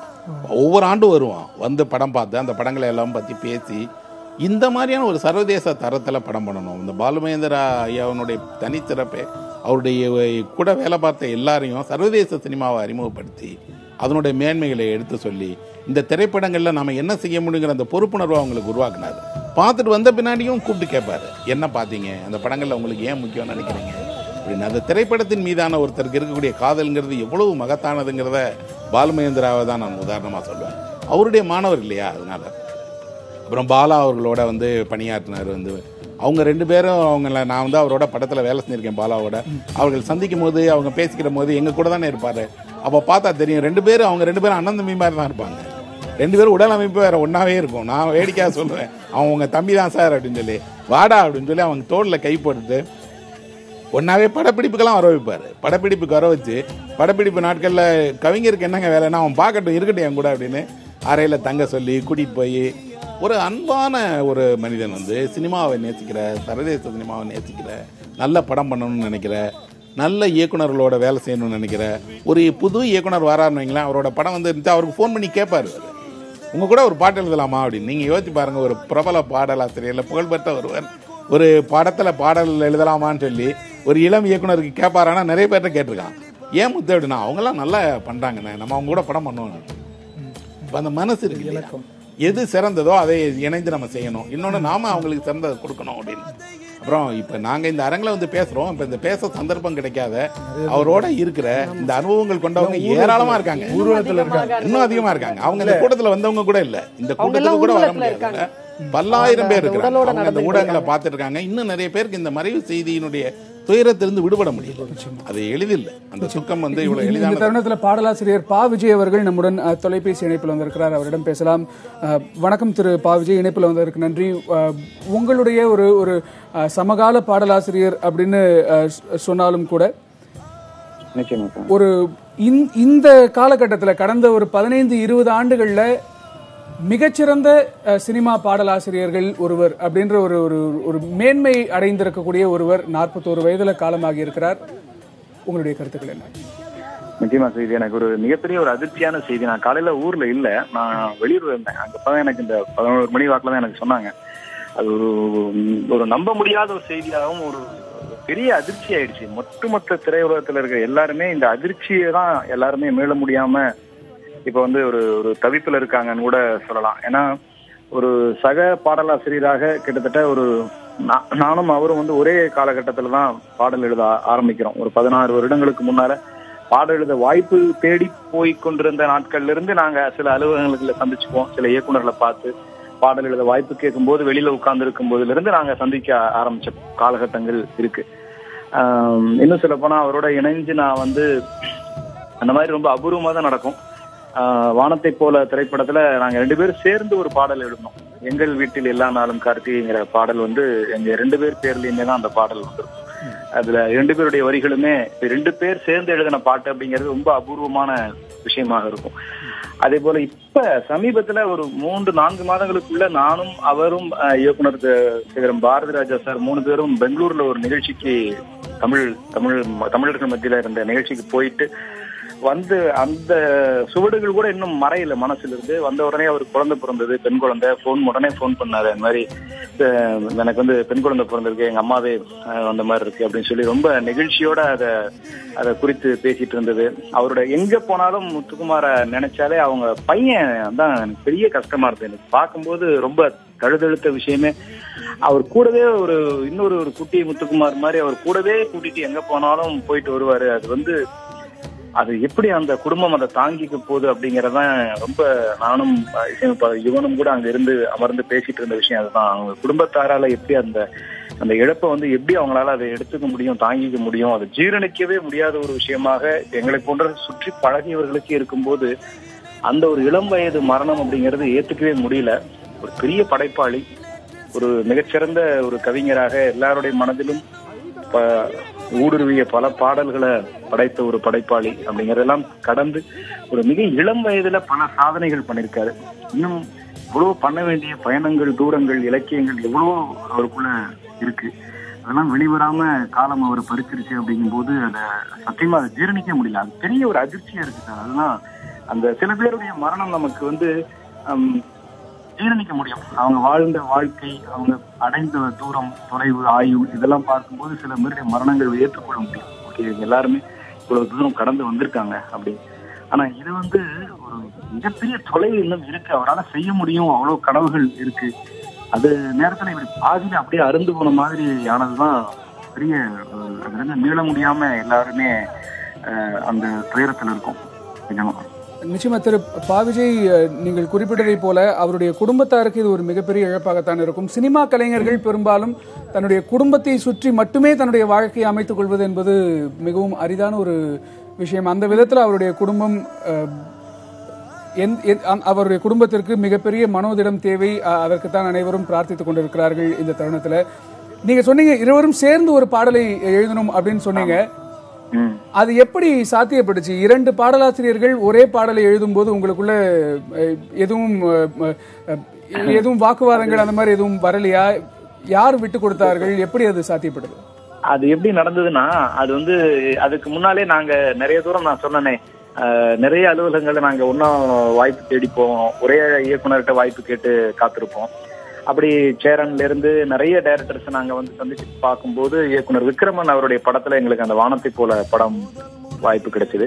அதுல என்ன ஆயிடுச்சுன்னா அந்த டியூன் வந்து ஆஹ், பாடல்கள் எழுதுறதுக்கு தரப்பட்டது. அவரும் அந்த பாட்டை எழுதணும்னு ஆசைப்பட்டார் நானும் ஆசைப்பட்டேன்.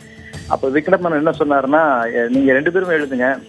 யாரு நல்லா எழுதிருக்கீங்களோ அதை வச்சுக்குவோம் அப்படின்னு சொல்லி. அதுக்கு பிறகு ரெண்டு பேருமே உட்கார்ந்து எழுதி அவரும் ஒரு பக்கம் எழுதுறாரு நான் ஒரு பக்கம் எழுதுறேன். ஆரம்ப ஆரம்ப காலகட்டம் சொல்றேன். இதெல்லாம் ரெண்டு டூ ரெண்டாயிரம் ரெண்டாயிரத்தி ஆயிரத்தி தொள்ளாயிரத்தி தொண்ணூத்தி ஒன்பதுல இந்த விஷயம் நடக்குது. பதினேழு வருஷத்துக்கு முன்னால நடந்த விஷயம் சொல்றேன். அப்ப ரெண்டு பேருமே எழுதி முடிக்கிறோம். கொண்டு போய் ஆளுக்கு இருபது முப்பது சரணங்கள் பல்லவிகளோட கொடுக்கும்போது விக்ரமன் சாருக்கு எதையுமே வந்து தவிர்க்க முடியல. ரெண்டு பேரோட இதுமே நல்லா இருக்கு.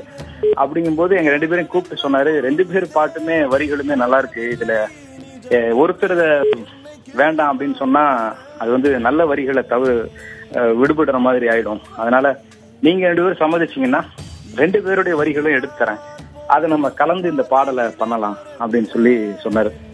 அதுக்கப்புறம் ரெண்டு பேருமே ஒரு சட்டத்துல பேசிக்கிட்டு வாக்குவாதம்லாம் ஒன்றும் பண்ணிக்கல. ஏன்னா அப்போ ரெண்டு பேருமே ஆரம்ப காலகட்டங்கிறதால பாடல் வேணும் வாய்ப்பு வேணும் வெற்றி வேணும்னு பெரிய தேடல் தாகத்துல இருந்த சமயம். அப்ப ரெண்டு பேருமே சம்மதிச்சு பரவாயில்ல சார் இந்த படத்துல எங்க பாட்டு இருந்தா போதும் அப்படின்னு சொல்லி. அப்புறம் ரெண்டு பேருடைய வரிகள்லயும் கொஞ்சம் கொஞ்சமா பல்லவி சரணம் இப்படியா தேர்வு பண்ணி அதை ஒருங்கிணைச்சு. அந்த பாடலை பதிவு அந்த கேசட்ல அப்பெல்லாம் கேசட் தான் வரும். அப்ப அந்த கேசட்ல கூட ரெண்டு பேருடைய பேருங்க இருக்கும்? நான் முத்துக்குமார் பா விஜய் தான் ரெண்டு பேர் பேர். இருக்கும் அது மட்டும் இல்லாம முத்துக்குமாருக்கு என்ன ஒரு நல்ல ஒரு பழக்கம்னா ஒரு நல்ல பாட்டு யார் எழுது சக கவிஞர்கள் எழுதினாலும் தானா வலிவிக்கு ஃபோன் பண்ணி அந்த பாட்டு கேட்டேன். நான் கார்ல போயிட்டு கேட்டேன்.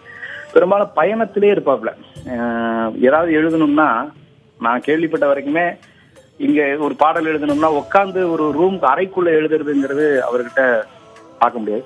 அப்படி எங்கேயாவது பயணத்துல அப்படியே கார் எடுத்துட்டு அப்படியே பாண்டிச்சேரி பக்கமா இல்ல மகாபலிபுரம் அப்படியே போய் பயணத்திலேயே எழுதிட்டு திரும்பி வந்து இறக்கி விட்டுருவாப்ல டைரக்டர் சார் ஸோ அப்படிதான் பாடல் எழுது அப்படி போகும்போது பாட்டு கேட்டேன். இந்த பாட்டு நல்லா இருந்துச்சு. அந்த வரி நல்லா இருந்துச்சு. காவிய தலைவன் அந்த பாட்டு எழுதிங்க அந்த வரி நல்லா இருந்தது.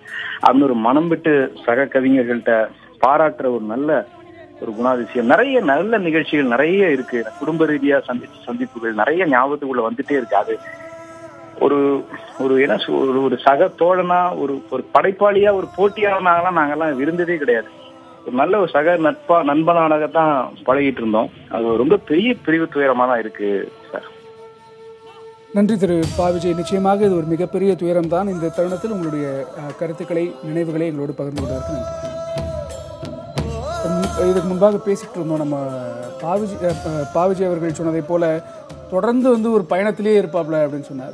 இது- தன்னுடைய அடுத்த கட்ட பயணத்தை அவர் எப்படி டிசைன் பண்ணியிருந்தார் அப்படின்னு கேட்கும்போது நீங்கள் இயக்கம் பற்றி சொன்னீங்க.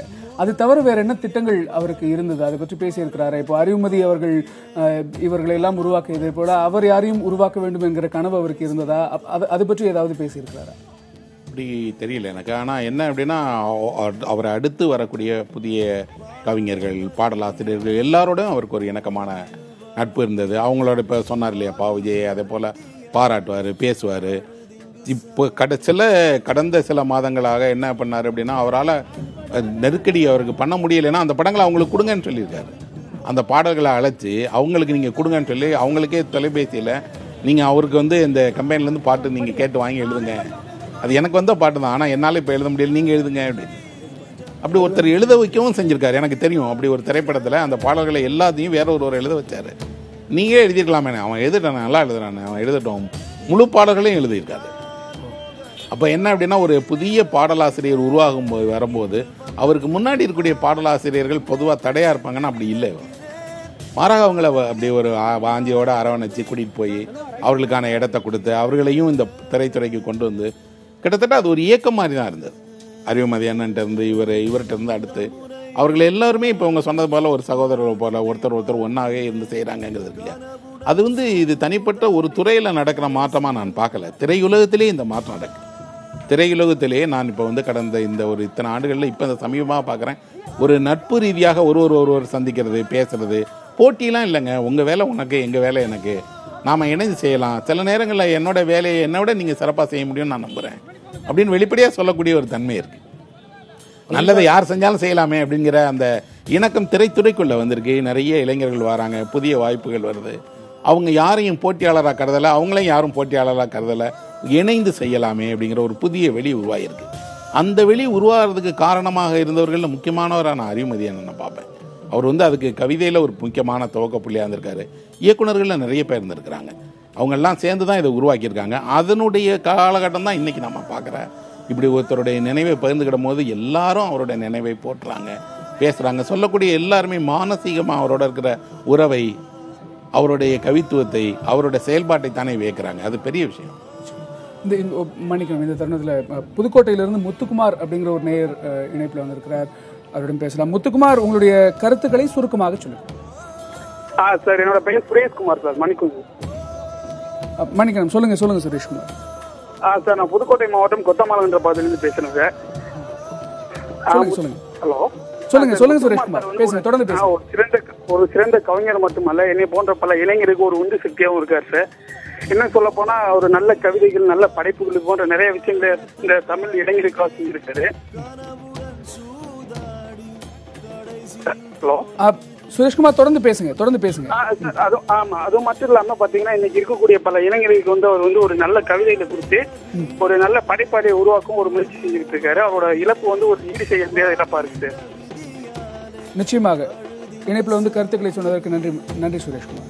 பழனி பாரதி கூட அந்த இரங்கல் செய்தியில சொல்லியிருக்காங்க. அவன் வளர்ச்சியை பார்த்து மகிழ்ந்தவன் நான் அப்படின்னு. அப்படியான ராமகிருஷ்ணன் சொன்னது மாதிரி ஒரு இணக்கமான சூழல் வந்து திரையுலகத்தில் உருவாகிருக்கு அதுக்கு வந்து அறிவுமதி எப்படி ஒரு தொடக்கமாக இருக்கிறாரோ அது மாதிரி இந்த பாலுமகேந்திராவும் பாலுமகேந்திரா பள்ளியும் அப்படி ஒரு இயக்குனர்கள் இயக்குனர்கள் சார்பில் அது ஒரு இதை உருவாக்கியிருக்கு. பாலுமேந்திரா வெற்றி வெற்றிமாறன் அப்புறம் கட்டளை தமிழ் ராமு சீனி ராமசாமி இப்படி ஒரு ஒரு தொடர்ச்சியான ஒரு இது. ஒவ்வொரு இயக்குனர் பாரதி ராஜா அது மாதிரி. அந்த இயக்குனர்களுக்குள்ளே இப்போ இளம் தலைமுறை இயக்குநர்கள்ட்ட ஒரு ஒரு இணக்கமான சூழல். அப்புறம் என்னோட பாட்டுக்கு நீங்க வந்து பாடுங்கங்கிறது. இது மாதிரியான ஒரு ட்ரெண்ட் வந்து இருக்கு. அதுக்கு வந்து ஒரு காரணம் நல்ல ஒரு சூழல் இருக்கும். இது ஒரு நல்ல சூழல் வரவேற்கத்தக்கது. அதுக்கு வந்து நாமுத்துக்குமார்னா அந்த மாதிரியான ஒரு அந்த பயிற்சியெல்லாம் இருந்ததுனால அவரும் மற்றவர்களை அந்த அரவணைச்சு போறது இணக்கமா இருக்கிறத வந்து அவரு கை கொண்டிருக்காருல வாழ்க்கையில. ஒரு காலகட்டத்தில் வந்து சில கருதுகோள்கள் இருக்கு இல்லையா? அதுதான் அடுத்த தலைமுறையை வழி நடத்துது.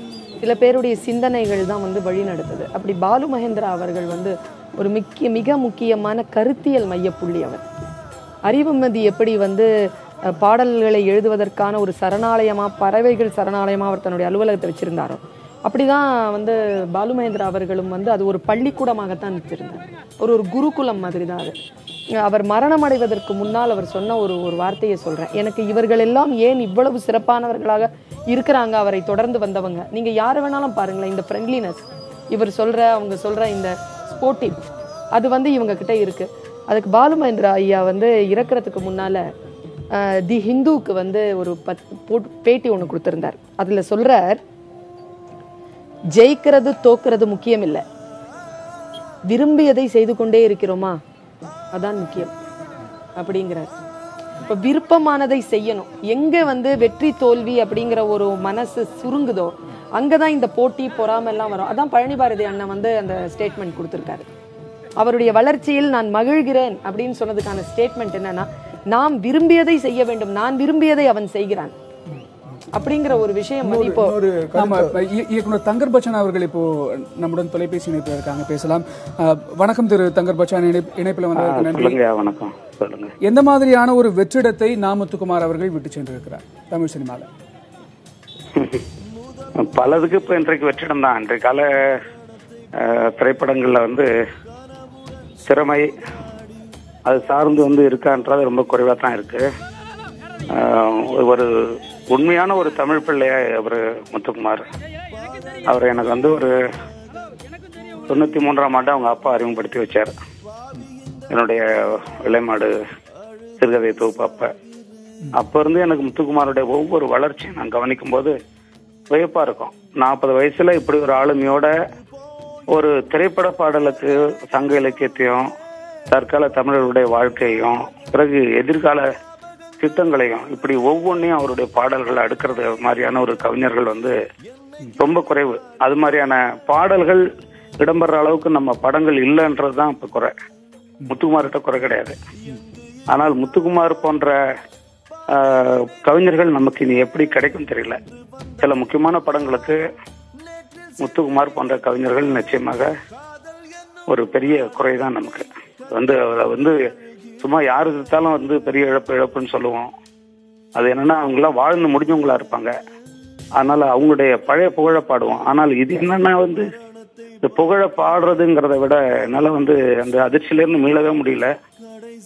அவர் இறந்துட்டாருந்தா ஒரு மணி நேரத்துல நாங்க போனேன் நானும் மனைவி குழந்தைகள்லாம். அதனால எனக்கு ஒரு இன்னும் அந்த மயக்க நிலையில தான் நான் இருக்கேன். என்னால் வெளியில வர முடியல. ஏன்னா என்னுடைய தம்பி அவன். அவன் வந்து நண்பனும் ஒரு நீங்கள் நினைக்கிற கவிஞனோ கிடையாது. கவிஞன் இருந்தா கூட மனசு தேர்த்திக்கலாம் ஆனா அவர் தம்பியை இழக்கிற நாங்களாம் வந்து எந்த ஆதரவும் இல்லாமல் இந்த சென்னைக்குள்ள வந்து எப்படி எல்லாம் அலைஞ்சு இந்த வாய்ப்பு தேடினதை சொன்னாலே அது பெரிய கதை அதெல்லாம். இங்கெல்லாம் யார் யாரோ ஏற்கனவே இருக்கிற புகழை வச்சுக்கிட்டு எப்படி எல்லாமோ திரைப்படத்துறையில வரும்போது என்னன்னே தெரியாத ஒரு இடத்துல இருந்து இவ்வளவு ஒரு உயரத்துக்கு தம்பி வந்திருக்கான். இந்த இடத்த இனி யார் வந்து தொட முடியும்? தொடவே முடியாது. பெரிய நன்றியுடைய ஒரு மனிதன் அவன். அவன் வந்து ஒண்ணுமே செய்யலைங்க. நல்லா அவனுக்கு எதையுமே செய்யல. ஒரு சின்ன விஷயம்தான். அது அவனுக்கு வந்து ஒரு பத்து ஆண்டுகளுக்கு முன்னாடி தேசிய விருது கிடைச்சிருக்கணுங்க ரெண்டாயிரத்தி பதிமூணுல அந்த தங்க மீன்கள்லாம் வந்தப்ப நான் போயிருந்தேன் சேர்பர்சனா அப்ப அந்த குழுவில் இருக்கும்போது நான் அதை அந்த சரியான மொழிபெயர்ப்பை மறுபடியும் கொண்டு போய் கொடுத்து அதை மறுபடியும் அந்த படத்தை திரையிட்டு கொஞ்சம் அவங்ககிட்ட சொன்னது. மற்றபடி முத்துக்குமார திறமையை நம்ம வந்து அவங்களுக்கு காட்டுறது காட்டணும் இல்லையா? அந்த அதனாலதான் அவர் அவரோட திறமைக்காக தான் அது கிடைச்சது. ஆனா வந்து நீங்க இல்லைன்னா அது கிடைக்காது நான் கிடைக்காது இதையே சொல்லிட்டு நான் அப்படி இல்லை. நான் இருக்கிறதெல்லாம் அது தரமாட்டாங்க. திறமை இருந்தாலும் தான் கொடுத்தாங்க. நீங்க பத்து தேசிய விருது கூட வாங்கலாங்க. ஆனால் வந்து நல்ல மனிதனாக இருக்கணும் முதல்ல. முத்துக்குமார் கெட்டவன் ஒருத்தவங்க கூட இது வரைக்கும் சொல்ல முடியாதுங்க. சொல்லவே முடியாது. ஒருத்தவங்க கூட சொல்ல முடியாது. ஒரு மனிதன் கூட சொல்ல முடியாது. எல்லாம் வந்து அவரை வந்து புகழறோம் ஆனா அந்த குடும்பம் இன்னைக்கு கஷ்டமா இருக்கு. முத்துக்குமார் மனைவி பார்த்துட்டு அழுது அண்ணா என் பொண்ணு வந்து அப்பான்னு கூட வந்து சொல்லேண்ணா. அதுக்குள்ளே போயிட்டார அப்படின்னது. ஒரு ஏழு மாத குழந்தைய விட்டுட்டு போயிட்டான். நாளைக்குல இருந்து உங்களுடைய நிலைமையை பாருங்க. ஒரு பன்னெண்டு வயசு மகன் ஏழு மாத குழந்தை மனைவி. இது என்ன ஒரு வந்து உடம்ப கவனிச்சுக்காத ஒரு திரையுலகம் என்னது? அவனை போட்டு பாட்டு வேணும் பாட்டு வேணும்னு கொண்டு எடுத்து தான் பாட்டை வாங்கியிருக்காங்க. நம்ம எல்லாம் அவனுடைய திறமை தான் பாராட்டுறோமே தவிர ஒரு கலைஞன் தன்னுடைய உடம்பை எப்படி பாதுகாக்கணுங்கிறதுக்கான இந்த இடம்லாம் யாரும் அழிக்கிறது இல்லைங்க. அவங்கவுங்களுக்கு அந்த நேரத்துக்கு பாட்டு வந்தா சரிதான். ஏதோ ஒன்று வாங்கி கொடுத்து அவங்க கதையை முடிச்சிட்டாங்க. எனக்கு ரொம்ப பல எனக்கு ஒன்றுமே சொல்ல முடியலங்க. இது வந்து எப்படி ஆறுன்னே எனக்கு தெரியல. கூட பிறந்த எனக்கு வந்து எட்டு பேர் இருந்தாலும் என்னுடைய தம்பியாவே இருந்தான். தெரியல. முத்துக்குமார் என்ன தெரியல. எனக்கு ஒன்றும் புரியலங்க. திரு தங்கர்பச்சான் இந்த தருணத்துல அவர் அவர் அவருடைய திறமைகளை அவருடைய கவித்துவத்தை பயன்படுத்தி கொண்ட இந்த திரையுலகம் அவருக்கு என்ன திருப்பி கொடுக்கணும்னு நினைக்கிறீங்க? என்ன செய்யணும்னு நினைக்கிறீங்க? அவருக்கு ஒன்றும் செய்ய முடியாதுங்க. அவருக்கு செய்ய முடியாது. என்னன்னா என்ன செஞ்சிட முடியும்னு நினைக்கிறீங்க? நான் வந்து அந்த இடத்துல நான் சொல்ல முடிஞ்சது அந்த குழந்தைகளை பிடிச்சிட்டு நான் இருக்கேம்மா. அப்படின்னு சொல்றேன் என்னால என்ன செய்திட முடியும்?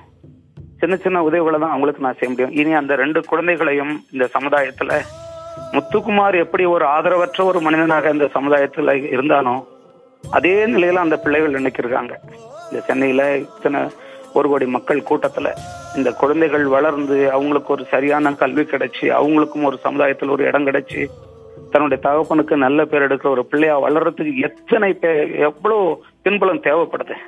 இதை யாரு அழிக்கிறது? இதை யாரு அழிச்சிட முடியும்? அவர் புகழ பாடலாம் சரி. ஆனால் இழப்பு யாருக்கு? சினிமா உலகத்திற்கு அந்த கடமை இருக்குது இல்ல கண்டிப்பா இருக்கு. அதை தான் செய்யணும். இந்த பிள்ளைகளை ரெண்டு பேரையும் வளர்த்து கொண்டு வரணும். ஒரு அவன் ஒரு அவனு சாதாரண ஆளு கிடையாதுங்க சினிமா பாட்டு கவிஞர்கள் நிறைய பேர் இருக்காங்க. உண்மையிலே இந்த இந்த மொழியை உள்வாங்கிட்டவன் இந்த இந்த இந்த அரசியலை உள்வாங்கிட்டவன் இந்த பண்பாட்டை உள்வாங்கிட்டவன் இனி தமிழரோட எதிர்காலத்தை பத்தி அந்த அக்கறை பத்தி சிந்திச்சவன் சும்மா காசுக்காக பாட்டு எழுதி கொடுத்த தம்பி இல்லாம. இப்ப இப்படிப்பட்ட கலைஞர்களை நம்ம எப்படி இந்த சமுதாயம் எப்படி அவங்களுக்கு என்ன திருப்பி செய்ய போகுது? இந்த திரையுலகம் என்ன திருப்பி செய்ய போகுது? இந்த கேள்விக்கு யார் பதிலளிக்க முடியும்? நிச்சயமாக அந்த கேள்விக்கான பதில்கள் கூடிய விரைவில் கிடைக்க வேண்டும் என்பதுதான் அனைவருடைய எண்ணமும் கூட. இணைப்புல வந்து உங்களுடைய துயரத்தை உங்களுடைய இரங்கல் செய்தியை பகிர்ந்து நன்றி சினிமா உலகம் என்ன செய்ய வேண்டும்? அந்த அந்த முயற்சியை யார் முன்னெடுக்க வேண்டும்? சினிமா உலகம்ங்கிறது வந்து ஒரு தனிநபர் இல்லை இல்லை. நிச்சயம். அது அது தவிர வந்து அதில் எந்த முடிவு எடுப்பதாக இருந்தாலும் எல்லோரும் சேர்ந்து தான் எடுக்க முடியும். அப்படி எடுக்க முடியும் அப்படின்னா யா அவர் தங்கர் பச்சான் சொன்ன மாதிரி தான் பொருளாதார ரீதியான உதவிகளோ அல்லது மானசீகமாக இறந்து போயிடுறாங்க. அவருடைய பிள்ளைகள் படிக்க முடியாமல் இருக்கிறாங்க. அவர்களுக்கான போதிய மருத்துவ வசதிகள் இல்லை. இன்னும் சொல்லப்போனால் இவர்களுக்கான ஊதியம் எந்த கட்டத்திலையும் நிரந்தரம் கிடையாது. திரைத்துறையில் இருக்கக்கூடிய மிகப்பெரிய சிக்கலே என்னன்னா யாருக்கும் ஊதியம் நிரந்தரம் கிடையாது கிடைச்சாலும் முழு ஊதியம் கிடைப்பது கிடைக்கும் தெரியாது. ஊதியம் கிடைக்கும்னே தெரியாது. படம் முடிஞ்சிரும் ஊதியம் கிடைக்காது. நீண்ட நாள் கழிச்சு இதை. முறைப்படுத்தி இவர்களுக்கு ஊதியம் கட்டாயம் வழங்கப்படும் அப்படிங்கிறதுக்கான எந்த முறையும் இல்லை நீங்க போய் முறையிட முடியாது முறையிட்டால் கூட அந்தந்த யூனியன்ல தான் அவங்கவுங்க போய் முறையிட முடியுமே தவிர வேற எந்த சட்ட பாதுகாப்புகளும் இல்லாத ஒரு துறை எல்லாம் தாண்டி இவர்களுக்கு இப்படி ஒரு துறையில எதிர்பாராம ஒண்ணு நடந்துருச்சுன்னா என்ன செய்வாங்க ஒரு காப்பீடுன்னு ஒண்ணு இருக்கு. எல்லா துறைக்கும் காப்பீடு இருக்கு. அந்த காப்பீடு வந்து அவர்களுக்கு வழங்கப்படும். திரையில அப்படி ஏதாவது காப்பீடு இருக்கா என்ன? திரைத்துறையில பணியாற்றுகிற ஏதாவது ஒரு துறையை சேர்ந்தவர்களுக்கு அந்த துறையில இவங்க பணியாற்றுறாங்களேன்னு காப்பீடு இருக்கா? தனிநபர் காப்பீடு நம்ம பேசுறோம் அமைப்பு சாரா தொழிலாளர்களுக்கான நலத்திட்டங்கள் எப்படி இருக்கணும்னு நாம வந்து சமூக ரீதியில டிஸ்கஸ் பண்றோம். கிட்டத்தட்ட சினிமா கலைஞர்களும் அதே மாதிரியான ஒரு நிலையில இருக்கிற மாதிரி தான். இருக்காங்க. என்னன்னா ஒவ்வொரு இப்ப சங்கங்களும் இப்ப இயக்குனர் சங்கம்னா அவங்க முன்கை எடுத்து படிக்க வைக்கிறதுக்கு உதவி செய்யறாங்க மருத்துவ உதவி செய்யறாங்க இப்ப எழுத்தாளர்கள் சங்கத்துல இருந்து அந்த மாதிரி என்ன செய்யறாங்கன்னா அவங்க வீட்டு பிள்ளைங்களை படிக்கிறதுக்கு சீட்டு வாங்கி கொடுக்குறாங்க மருத்துவத்துக்கு கார்டு வாங்கி கொடுக்குறாங்க. நலத்திட்டங்களை இப்ப உருவாக்கி இருக்காங்க இப்ப அந்த மாற்றம் வந்திருக்கு. நலத்திட்டங்கள் ஆனாலும் சட்டப்பூர்வமாக எல்லோருக்கும் இது கிடைக்கும். நீங்க எந்த எஃபர்ட்டும் பண்ண வேணாம். நீங்க அந்த துறையில் ஈடுபடுறவர் உங்களுடைய பெயர் திரையில இடம்பெற்றிருக்கா? உங்களுக்கு அது உரிமையோடு கிடைக்கணும். தரப்படணும். அது எல்லாருக்கும் தரப்படணும். முத்துக்குமாருக்கு உரிமையோடு மட்டுமல்லாமல் அவங்களுடைய குடும்பத்தாருக்கு நன்றியுடன் அதை நாம் செய்ய வேண்டும். செய்யணும். அது திரையுலகனுடைய கடமை. ஏன்னா திரையுலகத்துக்கு அவ்வளவு கொடுத்திருக்கிறாரு. அவ்வளவு பங்களிப்பு செய்திருக்கிறாரு. அப்ப பதிலுக்கு அவர்கள் பங்களிப்பு செய்யணும். எல்லோருக்குமே அத மனதுக்குள்ள இருக்கக்கூடியது என்னன்னா அந்த அம்மா கேட்டாங்க இல்லையா? அந்த குழந்தைகள் என்ன ஆகும் என்ன ஆகும்? அப்ப அந்த என்ன ஆகுங்கிற கேள்வி அவங்க தன் சொந்த பிள்ளை மாதிரி நினைக்கிறாங்க. அப்ப இந்த எண்ணம் திரைத்துறைக்கு இருந்துச்சுன்னு வைங்களேன் என்ன ஆகும்? அப்படின்னு அந்த பதவியப்பு திரைத்துறைக்கு இருந்தால் நிச்சயம் அவர்கள் செய்வாங்க. செய்வதற்கான எல்லா விதமான வசதிகளும் அவர்களிடம் இருக்கு. மனதும் இருக்கு. செய்வது எப்படிங்கிறத மட்டும்தான் அவங்க திட்டம் கலந்து ஆலோசிச்சுட்டு ஒரு நல்ல முடிவு நிச்சயமா வரும். செய்வாங்கன்னு நம்புறேன். நிச்சயமா பொறுப்பேற்று இருக்கிற நடிகர் சங்க தலைவர் விஷா நடிகர் சங்க செயலர் நாசர் தலைவர் நாசர் அவங்க வந்து புதிய நலத்திட்டங்கள் நடிகர்களுக்கு திரைத்துறை சார்ந்தவர்களுக்கு புதிய திட்டங்களை அவங்க செயல்படுத்திட்டு இருக்காங்க. நிச்சயமா வந்து அந்த- அந்த நடிகர் சங்க தலைவர் நாசர் அவர்களும் நடிகர் சங்க செயலர் விஷால் அவர்களும் இதை வந்து முன்னெடுப்பாங்க. ஏன்னா மிகப்பெரிய ஒரு மாபெரும் ஒரு கவிஞனா இருந்து மறைந்து போயிருக்கிற ஒரு ஒரு சின்ன ஒரு பாதி இதிலேயே வாழ்க்கையை முடித்து கொண்ட முத்துக்குமாரோடைய குடும்பத்தோடைய நலன் சார்ந்து அவங்க கண்டிப்பா திட்டமிடுவாங்க பேசிட்டு இருக்கிற இந்த தருணத்துல நீங்க நடிகர் சங்கத்தை பத்தி சொல்லிட்டு இருக்கிறீங்க. நடிகர் சங்கத்திலிருந்து திரு எஸ் வி சேகர் அவர்கள் நம்முடன் தற்போது இணைப்பில் இருக்கிறார். அவரிடம் பேசலாம். வணக்கம் திரு எஸ் வி சேகர். இந்த இடத்துல நாம ஒரு இங்க என்ன விவாதம் போயிட்டு இருக்குது அப்படின்னா திரு நா முத்துக்குமார் அவர்களுடைய குடும்பத்திற்கு திரையுலகம் என்ன செய்ய வேண்டும் அப்படிங்கறத பத்தி எல்லாம் நாம பேசிட்டு இருக்கோம். அதை பற்றி உங்களுடைய கருத்துக்களை கேட்பதற்கு முன்பாக உங்களுடைய இரங்கல் செய்தியை முதல்ல சொல்லிடுங்க. அதன் பிறகு உங்களுடைய கருத்துக்களை இந்த விவாதம் பற்றி நான் சமீபத்துல நான் சந்தித்த மிக அதிர்ச்சியான ஒரு விஷயம். ஏன்னா நான் முத்துக்குமார் தான் என்னுடைய அந்த மணல் கயிறு இரண்டு வந்து எல்லா பாட்டுமே அவர் தான் எழுதி கொடுத்தாரு. ஒரு நாளைக்கு ஒரு பாட்டுனாக்க அப்படி எழுதி கொடுத்தாரு. நான் தான் சொன்னேன் பாட்டெல்லாம் இவ்வளவு விரைந்து டக்கு டக்குன்னு எழுதி கொடுக்குறீங்களே ரொம்ப ஆச்சரியமா இருக்குன்னு. பாட்டை விரைந்து எழுதி கொடுத்தவர் மரணத்தையும் இவ்வளவு விரைந்து ஏற்றுக்கொள்வார்னு எதிர்பார்க்கவே இல்லை. இது வந்து சாகக்கூடிய வயசு இல்லை. எண்பது வயசு இருந்தா கூட இன்னொரு பத்து வயசு இருந்திருக்கலாமே தான் எல்லாருக்குமே சொல்லுவாங்க. அது என்ன சொல்றது? இது இது வந்து பெண் குழந்தை பிறந்ததுல இருந்து அவங்களுக்கு தெரியும். அந்த அந்த அந்த அவருடைய மனைவிக்கு என்ன சொல்லி நம்ம ஆறுதல் சொல்ல முடியும்? எட்டு மாத கை குழந்தை ஒரு எட்டு வ- எட்டு வயசு பையன் இது வந்து ஒரு இறக்கறதுக்கு உண்டான எந்த வயசும் கிடையாது. ஏதோ ஆக்சிடென்ட் அது இது. சொல்லாம ஒரு ஹார்ட் அட்டாக்னு சொன்னா இது இது ஒண்ணுமே சொல்ல முடியாத ஒரு மிகச்சிறந்த ஒரு கவிஞன். ரெண்டு முறை தேசிய விருதுங்கிறது அந்த விருது இதெல்லாத்தையும் தாண்டி எல்லார்கிட்டயும் ஒரு நல்ல நட்பு கருத்து வேறுபாடு இருக்கிறவங்க கிட்ட கூட நட்பு பாராட்டக்கூடிய ஒரு ஒரு நல்ல மனிதனாகத்தான் ஆஹ், இருந்தார் அவர். அது ரொம்ப இட் இஸ் வெரி அன்பார்ச்சுனேட் அந்த குடும்ப குடும்பம் இந்த துக்கத்திலிருந்து வெளியில வர்றது அந்த கடவுள் கையில தான் இருக்கு. ஏன்னா இது யாரும் போய் இது சகஜம்லாம் சொல்ல முடியாத ஒரு விஷயம். அது அது அது அதுக்கு மேல சொல்ல முடியல. அவருடைய ஆத்மா சாந்தி அடைய வேண்டும். ஆஹ் அதுதான் நான் சொல்லிக்க ஆசைப்படுறேன். திரு எஸ். நெகிழ்ச்சியான இரண்டு அஹ், தொலைபேசி இணைப்புகள் இப்போ இந்த நேரலையில் வந்தது. முகம் தெரியாத ஒரு ஒரு தாய் தொலைபேசி இணைப்பில் வந்து காலையிலேருந்து டிவி பார்த்துட்டு இருக்கிறேன் அவங்க வீட்டுக்காரம்மா என்ன பண்ண போறாங்கன்னு தெரியல. சின்ன குழந்தை இருக்குதாம்ல அது என்ன பண்ணும்? யார் அதை இனிமே காப்பாத்த போறாங்க? அப்படின்னு ஒரு கேள்வியை முன் வச்சாங்க யாருன்னே தெரியாது. யாரோ ஒரு ரசிகை. ஏதோ ஒரு ஊர்ல இருந்து பேர் தெரியாத முகம் தெரியாத ஒருவர் ஒருவர் பேசினார். அதே போல தங்கர் பச்சான் அவர்கள் பேசும்பொழுது பா- பா- அவரிடமிருந்து அதிகமா டிமாண்ட் பண்ணி இந்த பாடல்களை வாங்கிய திரையுலகம் அவருக்கு என்ன செய்ய போகிறது அப்படின்னு பேசினார். அது இதுக்கு இதுக்கு என்ன பதில் கிடைக்க வாய்ப்பு இருக்கிறது? என்னுடைய நாடக குழுல பா- பாரி வெங்கட் நான் ஒரு படம் தான் ஆக்ட் பண்ணா அதுக்குள்ள ஒரு ஆக்சிடென்ட்ல இறந்து போனான்.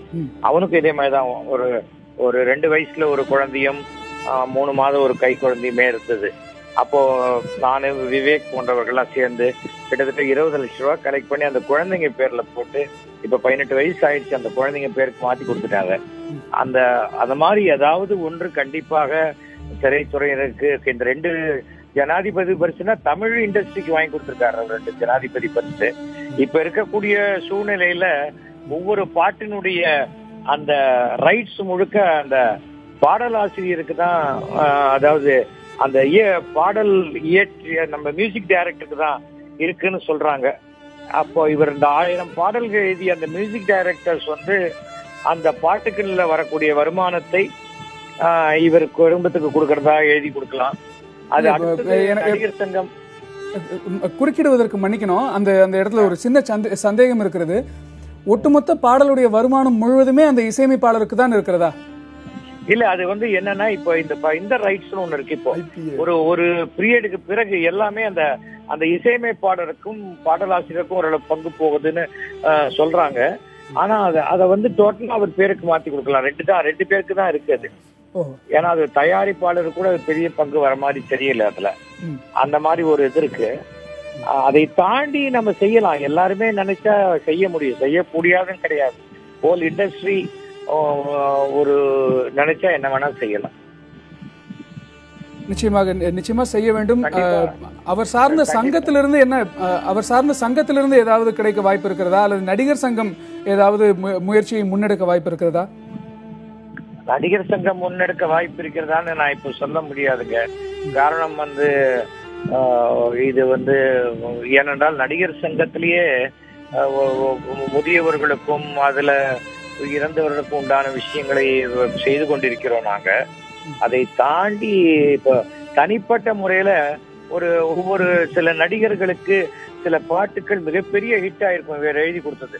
அந்த நடிகர்கள் கண்டிப்பாக செய்யலாம். செஞ்சாலே மிகப்பெரிய ஒரு ஒரு பணம் வருவதற்கு உண்டான வாய்ப்பு அந்த குழந்தைங்க பேர்லயே போட்டு வைக்கலாம். இது என்னன்னா இன்றைக்கு இருக்கக்கூடிய இந்த உணர்வு இன்னும் கொஞ்ச நாள் இருக்கணும். அது உடனே மறைஞ்சிரு மறையாம இருந்தா இது எல்லாமே பாசிபிள் அதுதான் நான் சொல்லுவேன்.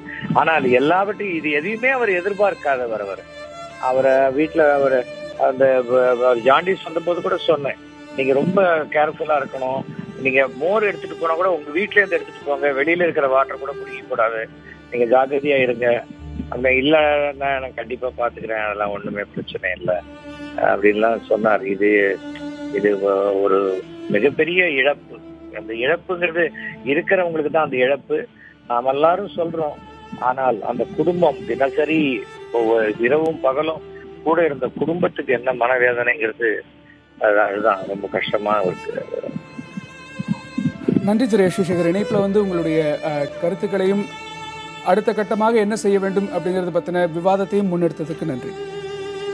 சொன்னது மிக முக்கியமா முக்கியமான வார்த்தை இல்லையா? இந்த உணர்வு இன்றோடு போய்விடக்கூடாது இது ஒரு ஒரு- ஒரு தொடர்ச்சியான ஒரு ஒரு ஒரு ப்ராசஸாக இருக்க வேண்டும் அப்படின்னு சொல்லியிருக்கிறார். என்ன சொன்ன கருத்துல ஒரு இது இந்த ஐபிஆர்எஸ்னு ஒரு சொசைட்டி இருக்கு. அந்த சொசைட்டி மூலம் வந்து இப்ப மீடியால பாடல்கள் பயன்படுத்துறாங்கல்ல. அஹ், தொலைக்காட்சிகள்ல ஊடகங்கள்ல எஃப்எம்ல. அதுக்காகவே அந்த ராயல்ட்டி வந்து கவிஞர்களுக்கும் கொடுக்குறாங்க. ஆண்டுதோறும் ஒரு இது ஐபிஆர்எஸ் வந்து மும்பையில் செயல்படுது. அந்த ரைட்டர்ஸுக்கான ஒரு காப்பிரைட் ஒரு சொசைட்டி. அவங்க பணத்தை கலெக்ட் பண்ணி கவிஞர்களுக்கும் கொடுக்குறாங்க இசையமைப்பாளர்களுக்கும் கொடுக்குறாங்க. இது அந்த மாதிரியான கூட்டத்திலே நான் கலந்துருக்கேன். அந்த மாதிரியான ஒரு இது இருக்கு. அந்த அந்த ரைட்ஸ் வந்து வரும். அந்த பணம் அவங்க அந்த ராயல்ட்டி பணம் வந்து கவிஞர்களுக்கு கொடுக்குறாங்க. இருக்கிறதா? ம் கொடுக்குறாங்க.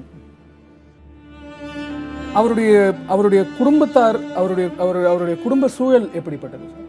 அவருடைய குடும்ப சூழல் எப்படிப்பட்டது? இந்த இந்த உத இந்த- எந்த மாதிரியான உதவிகள் அவர்களுக்கு தேவைப்படும் அது தெரியல. ஏன்னா அந்த மாதிரியாக இப்போ அவர்கள் அவங்களுடைய பொருளாதார நிலை என்ன? அவர்களுக்கு இப்போ உடனடி தேவைகள் என்ன? பிள்ளைகளோட கல்வியில் எதிர்கால தேவைகள் என்னன்னு தெரியல. ஆனால் ஒருவருடைய இழப்பு அப்படிங்கக்கூடியது அந்த இழப்புக்கு பின்னாடி ஒரு குடும்பம் சந்திக்கக்கூடிய பிரச்சனைகளில் முக்கியமானது என்ன? அவர்களுடைய அன்றாட வாழ்க்கை பிள்ளைகளோட படிப்பு அவர்களோட எதிர்காலம். அப்புறம் இவர் ஒரு கனவு காணக்கூடிய ஒரு மனிதன் தானே இவன் பிள்ளை என்ன ஆகணும்னு நினைச்சிருப்பான்ல என் பையன் என்னவா ஆகணும்? என் பொண்ணு என்னவா ஆகணும்னு நினைச்சிருப்பான்ல அந்த கனவை யார் அடைய வைக்க போறாங்க? இப்போ அதை தான் நம்ம வந்து செய்யணும் அதை நம்ம உருவாக்கணும். அப்புறம் அவர் சொன்னது போல நினைத்தால் இது வந்து அவருடைய பாடல்கள் எழுதிய அவருடைய முன்னணி நட்சத்திரங்களாலேயே இது முடிஞ்சிடும். இந்த சாத்தியம் வந்து அவர்களால் ஏன்னா அப்படி புகழ்பெற்ற பாடல்களை எழுதியிருக்கிறார். சங்கமே தேவையில்ல ஆமாம் அவர்களே இதை வந்து சாத்தியப்படுத்திட முடியும் தானே? ரொம்ப ஒரு மிக முக்கியமான ந- விஷயமா இதுல வந்து அடிக்கோடு இட்ட இட எ- எங் எங்க யாருக்குமே வந்து சாதாரணமாகவே ஒருவருடைய பொருளாதார உள்நிலை என் கட்டமைப்பு எப்படி இருக்கிறது அப்படிங்கிறதெல்லாம் விசாரிக்கக்கூடிய ஒரு ஒரு ஒரு நேரமாய் இது இல்லாமல் இருந்தாலும் கூட அந்த குழந்தைகளை பற்றியும் அவருடைய குடும்பத்தை பற்றியும் நினைக்கின்ற பொழுது அதை பேசுவது வந்து ஒரு பெரும் பெரும் பொறுப்பாக இருக்கக்கூடிய காரணத்தினால தான் நம்ம பேசிக்கிட்டு இருக்கோம். ஒரு ஆரம்ப கட்டத்திலிருந்து மிக மிக ஒரு ஒரு மிக சாதாரணமான ஒரு குடும்பத்திலிருந்து அடியெடுத்து வைத்தவர் தான் முத்துக்குமார் அவர்கள். அப்படி சாதாரணமான நிலையிலிருந்து வந்திருக்கக்கூடிய அவருடைய சுந்தரபுத்தன் ஆரம்பத்தில் சொன்னது போல அவர் எந்த சின்ன வேலைக்கும் போய் அந்த குழந்தைகளுக்காகவோ மனைவிக்காகவோ சொத்து சேர்த்து வச்ச அந்த மாதிரியெல்லாம் ஒன்று இல்லை நாங்கள் பார்த்த வரைக்கும். என்ன இருந்தாலும் கூட இன்றைக்கு ஒரு இளம் தலைவனை இழந்து தவிக்கக்கூடிய ஒரு குடும்பம். அந்த தலைவன் இருந்திருந்தால் அந்த அந்த குழந்தைக்கும் அந்த மனைவிக்குமான அந்த நிலை எப்படி வந்து வழி இல்லாமல் போயிருக்கும். இன்னைக்கு அது வந்து அருந்து கிடக்குது. இந்த அருந்து கிடக்கிற அந்த சூழ்நிலையில உலக புகழ் பெற்ற மிகப்பெரிய ப- பிரபலமான புகழ் பெற்ற விருதுகளை தமிழகத்திற்கு தமிழகத்தினுடைய இண்டஸ்ட்ரிக்கு சினி இண்டஸ்ட்ரிக்கு கொண்டு வந்து சேர்த்த நம் வீடுகளிலும் நம் உள்ளங்களிலும் உலா வரக்கூடிய அற்புதமான பாடல்களை எழுதி கொடுத்த இலக்கியத்துறைக்கு மிக ஆழமான ஒரு பங்களிப்பு தந்த இந்த மனிதனுடைய குடும்பத்திற்கான பொருளாதார விஷயங்களை எஸ். வி. சேகர் ஐயா சொன்னது போல ராமகிருஷ்ணன் எழுத்தாளர் அவர்கள் சொன்னது போல நம்முடைய ஊடகவியலாளர் சுந்தரபுத்தன் சொன்னது போல ஒரு சில மனிதர்கள் வந்து இதனால் புகழ் பெற்ற ஒரு சில மனிதர்கள் முடிவு செஞ்சாலே இது இல்லாம போயிடும் அப்படிங்கிற ஒரு சூழல் இருந்தாலும் கூட அமைப்பு சார்ந்து அதை வந்து முடிவு செய்ய வேண்டும். தமிழக அரசினுடைய கவனமும் இதற்குள் வர வேண்டும் என்பது எங்களை போன்றோருடைய ஒரு விண்ணப்பமாக இருக்கு. பாடகர் திரு மாணிக்க விநாயகம் அவர்கள் நம்மோடு தொலைபேசி இணைப்பில் இருக்கிறார். அவரிடம் பேசலாம். வணக்கம் ஐயா. இந்த தருணத்தில் என்ன செய்தியை பகிர்ந்து கொள்ள விரும்புகிறீர்கள்? சொல்லுங்கள் வணக்கம். புதிய தலைமுறை நேயர்களுக்கு என்னுடைய அன்பான வணக்கத்தை தெரிவிச்சுக்கிறேன். இது வந்து நான் வெளியூர்ல இருக்கிறேன். டிவியில மத்தியானம் பார்க்கும்போது இந்த செய்தியை நான் பார்க்க முடிஞ்சது. சத்தியமா என்னால ஜீரணிக்க முடியாத ஒரு தகவலா இருந்தது. ஏன்னா ஒரு குறிப்பிட்ட ஒரு பத்து வருஷத்துக்குள்ள பெரிய பெரிய சாதனைகளை படைச்சு அற்புதமான பல நூறு பாடல்களை கொடுத்து கிட்டத்தட்ட ஆயிரத்தி ஐநூறு பாடல் வந்து பத்து வருஷத்துக்குள்ள ஒருத்தர் எழுதுறதுன்னு சொன்னா ரொம்ப கஷ்டம். ஏன்னா இன்னைக்கு அவ்வளவு கவிஞர்கள் இருக்காங்க. அதுல வந்து நா முத்துக்குமார் வந்து ஒரு தனி முத்திரை பதிச்சு இரண்டு தேசிய விருதுகள் வாங்கி எவ்வளவோ சாதனை படைச்சிருக்காரு அதுவும் பழகிறதுக்கு ரொம்ப எளிமையான இனிமையான மனிதர். எந்த ஒரு கெட்ட பழக்கமும் இல்லாத நல்ல பிள்ளை.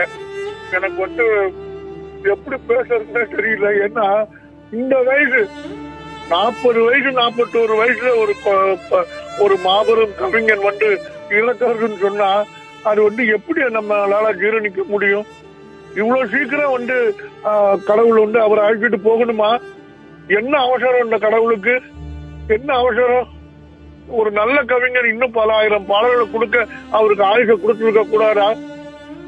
அவருடைய இழப்பு என்னை போன்ற அவருடைய ஓரிரு பாடல்களை நான் பாடியிருக்கேன்.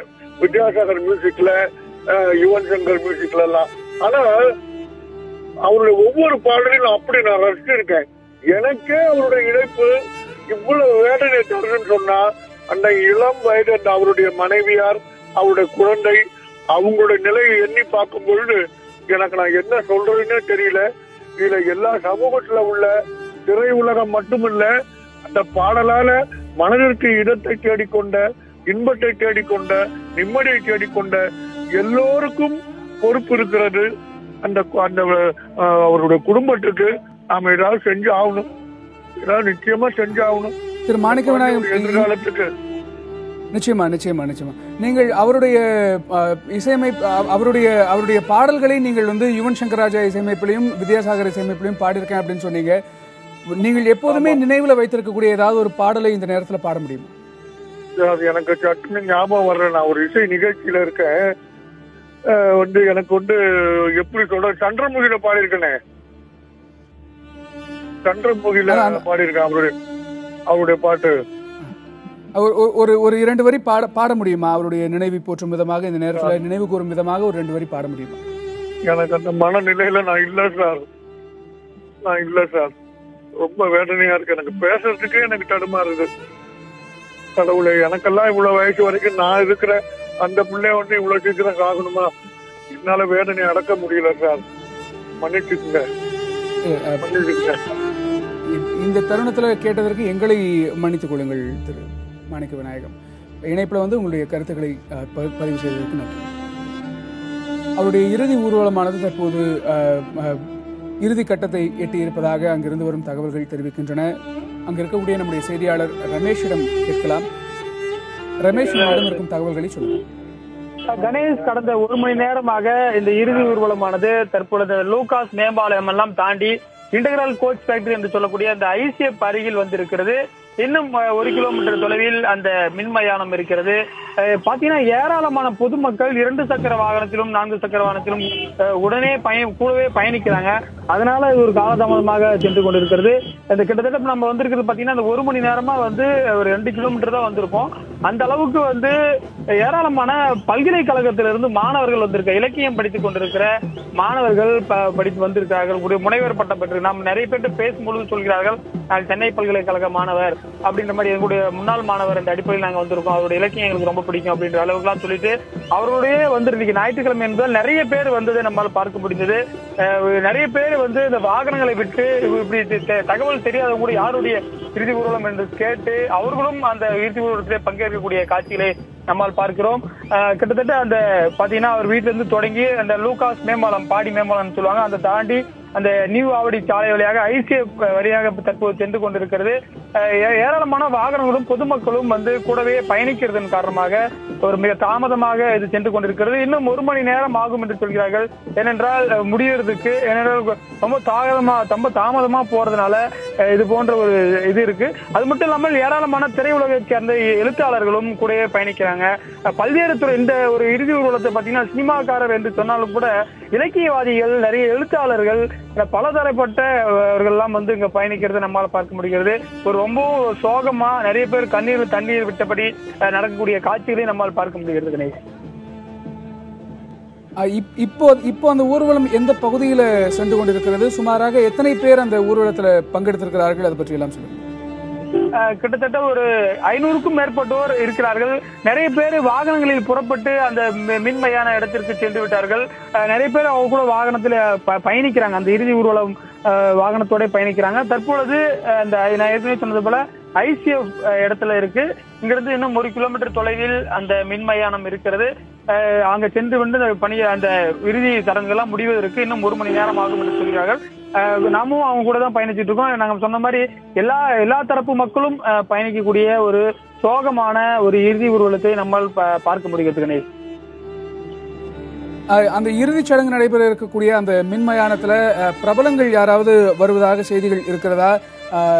முக்கியமாக அவரோடு இணைந்து பணியாற்றிய யுவன் சங்கர் ராஜா போன்ற இசையமைப்பாளர்கள் யாரெல்லாம் அங்கு வருவதாக தகவல் சொல்லப்பட்டிருக்கு? அஹ் ஏற்கனவே நமக்கு கிடைத்த வரை அஹ், சினிமா பிஆர்ஓ மூலியமா நமக்கு கிடைத்த வரை வெங்கட் பிரபு இயக்குனர் அங்கே இருப்பதாக சொல்கிறார்கள். யுவன் சங்கர் ராஜா நீண்ட நேரமாக இங்கே இருந்தார். அவர் ரொம்ப இறுக்கமான முகத்துடன் ரொம்ப சோகமா இருந்ததை நம்மால் பார்க்க முடிந்தது.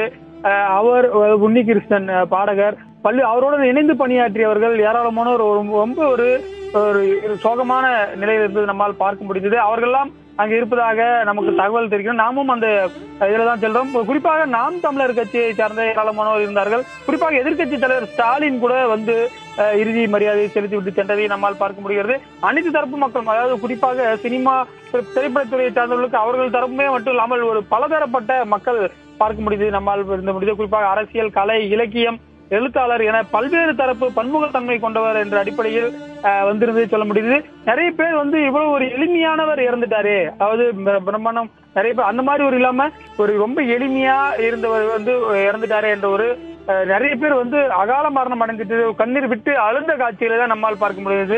இந்த இறுதி ஊர்வலத்துல பெரும்பாலான இளைஞர்கள் இருக்கிறாங்க. அதுதான் நம்ம ரொம்ப குறிப்பா பார்க்க முடியுது. பெண்கள் கூட கலந்து இருக்காங்க. அவரெல்லாம் அஹ், நம்ம கேட்கும்போது ஏற்கனவே சொன்ன மாதிரி பல்வேறு பல்கலைக்கழகத்தை சேர்ந்த மாணவர்கள் பிஹெச்டி படிக்கக்கூடிய மாணவர்கள் அந்த தமிழ் ஆர்வத்தால் ஆர்வ மிகுதியால் வந்திருக்கிறார்கள். பத்திரிகையாளர்கள் வந்ததை நம்ம பார்க்க முடியுது. நிறைய பத்திரிகையாளர்கள் நான் கேட்கும்போது நம்ம நண்பர்கள்ட்ட கேட்கும்போது இல்லைங்க அவருடைய எழுத்து பிடிக்கும் அவருடைய பாடல் பிடிக்கும் அப்படின்ற அதுக்காக தான் நான் வந்தேன் அப்படின்ற மாதிரி சொல்றாங்க. அந்த பத்திரிகையாளர்கள் முதற்கொண்டு அனைத்து தரப்பு மக்களையும் ஒரு கொண்ட ஒரு இறுதிமாக நடந்து கொண்டிருக்கிறது கணேஷ். தற்போதைய தகவல்களுக்கு நன்றி ரமேஷ். தன்னுடைய உடல் நலத்துல போதிய கவனம் கவனம் எடுத்துக்கொள்ளாத ஒரு நபராக இருந்தார் நாமத்துக்குமார். என்ன என்ன என்ன என்ன காரணமாக இருக்கும்?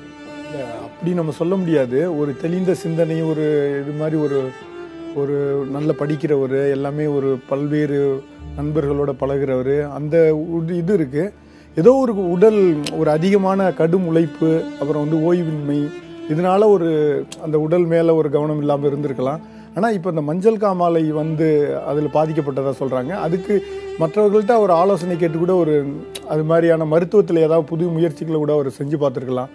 அதுதான் நமக்கு இதாக இருக்குது அது யாருக்குமே தெரியல அப்படிங்கிறது மாதிரி ஒரு தகவல்களை சொல்கிறாங்க அவர் யார்கிட்டையுமே சொல்லலை. ஒரு ரெண்டு மா ஒரு இப்போ ஒரு ஒரு பதினைஞ்சு இருபது நாட்களாக வந்து மருத்துவமனையில் அட்மி அனுமதிக்கப்பட்டிருந்தார் அப்படிங்கிறாங்க. அவர் நண்பர்கள்ட்ட இதை பகிர்ந்து அதுக்கான ஒரு இதை கேட்டிருந்திருக்கலாம். கொஞ்சம் ஓய்வாக இருந்து இது பண்ணிக்கலாம். தொடர் உழைப்பு இது கூட ஒரு காரணமாக இருக்கலாம். அந்த ஒரு ஒரு மாதமாகவே அவர் பாடல்கள் எழுதுவதை கொஞ்சம் தள்ளி போட்டுட்டு இருந்தாரு அப்படின்லாம் சொல்றாங்க. இன்னைக்கு நேரலையில் வந்து பேசிய இயக்குனர் சமுத்திரக்கனி இயக்குனர் பார்த்திபன் போன்றவர்கள் எல்லாம் நாங்கள் கேட்டபோது கொஞ்சம் தள்ளி போடலாமே அப்படின்னு சொல்லி ஒரு- கடந்த ஒரு ஒரு மாதமாகவே அப்படியெல்லாம் இருந்ததாக சொல்றாங்க. அவர் அவருடைய உடல்நிலை எப்படி இருந்தது கடந்த அவர் வந்து அமெரிக்காவுக்கு போயிட்டு வந்த பின்னாடி என்னோட பேசினார். பேசும்போதே அவர் கொஞ்சம் உடல்நல குறைவுள்ள தான் இருந்தார். அதனால் அவருக்கு இப்போ தான் ஒரு எனக்கு தெரிஞ்ச வரைக்கும் ஒரு ரெண்டு வாரங்களுக்கு முன்னாடி தான் இந்த மஞ்சள் காமாலை வந்து அதுக்கான சிகிச்சை எடுத்துருந்தார். பொதுவாக இந்த மாதிரியான சிகிச்சைகள் தெரியும் தானே உங்களுக்கு அதுக்கான ரொம்ப உடல் நலிவு ஏற்படும். இன்னொன்று அதுக்கான உணவு முறை மாற்ற வேண்டியிருக்கும். முழுமையான ஓய்வு இருக்கணும். எல்லாம் தாண்டி ஒரு பரபரப்பாக வேலை செய்து கொண்டு இருக்கக்கூடிய அதுவும் கவிஞராக இருக்கக்கூடிய ஒருத்தருக்கு திடீர்னு உடல்நல குறைவுங்கிறத அவரை ரொம்ப படுத்திடும் சாதாரண ஆட்களை விட இந்த மாதிரியான உணர்ச்சி வசப்படக்கூடிய பெரிதும் மனதை இயக்கக்கூடியவங்களுக்கு வந்து அந்த ஒரு நோய் எப்போவுமே அதிகமாக பாதிக்கும். அவர் அதில் தான் ரொம்ப தன்னை இதாக இருந்தார். இன்னொன்று அதுலேருந்து அவர் மீண்டு வந்துட்டு தான் இருந்தார். அந்த சிகிச்சைகள் தொடர் சிகிச்சைகள் சரியான உணவு சரியான ஓய்வின் வழியாக மீண்டு வந்துட்டு தான் இருந்தார். எதிர்பாராம விதமாக அவருக்கு ஏற்பட்ட மாரடைப்பால் தான் அவர் இறந்துட்டார் அப்படின்னு சொல்கிறாங்க அது முழுமையாக எனக்கு தெரிஞ்சுக்கிட்ட முடியல. ஆனால் கேட்ட வரைக்கும் அப்படி தான் சொல்கிறாங்க அப்போ அவருடைய உ- உ- உடல்நலத்துக்குள்ளே ஏதோ ஒரு பிரச்சனை இருந்திருந்திருக்கு. ஆனால் அது முழுமையாக கவனிக்கப்படலையோ? ஒருவேளை அவர் இன்னும் கொஞ்சம் கூடுதலாக இதில் அக்கறை செலுத்தி இருந்திருக்கலாமோ இவ்வளவு மருத்துவ வசதிகள் வந்துருச்சு. இவ்வளவு பெரிய இன்னைக்கு இருக்கக்கூடிய அறிவியல் முன்னேற்றத்துக்கு அப்புறம் இந்த விஷயங்களில் நம்ம இன்னும் கொஞ்சம் கூடுதலாக அக்கறை எடுத்துக்கலாமோ? அதனால தான் முதல்லருந்தே நான் சொல்கிறேன் நம்ம உடல் தான் அப்படிங்கிறதுல இருக்கக்கூடியதை தாண்டி நம்ம இன்னும் கொஞ்சம் கூடுதலாக அதை கவனித்து அதனுடைய குரலை கேட்டு அதுக்கு கொஞ்சம் இன்னும் அக்கறை எடுத்திருந்தா இன்னைக்கு எல்லா சிகிச்சைகளும் சாத்தியம் தானே இன்னைக்கு வந்து ஒருவருக்கு இருக்கக்கூடிய எந்த வகையான சிகிச்சைனாலும் சாத்தியம் தானே? ஒரே ஒரு விஷயம் தான் நாம அதில் எளிதுன்னு வச்சுட்டோம் நம்ம எளிதாக நடந்துடும் அந்த எளிதாக அதை கடந்துடலாம் எளிதாக தான் கடந்து வந்திருக்கிறோம். ஆனால் எல்லா தருணங்களையும் இல்லை.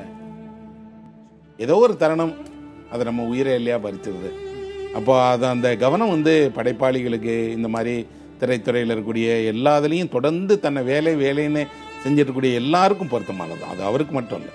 ஒரு பாடம் தான் வச்சுக்கிறேன் ஏன்னா இன்னைக்கு நான் வந்து அந்த மரண சடங்குக்கு போய் அங்கே திரும்பி வரும்போது பார்த்த எல்லா நண்பர்களும் உடனடியாக சொல்கிற விஷயம் உடல்நம்பாக பார்த்துக்கோங்க உடல்நிலையை கவனிங்க.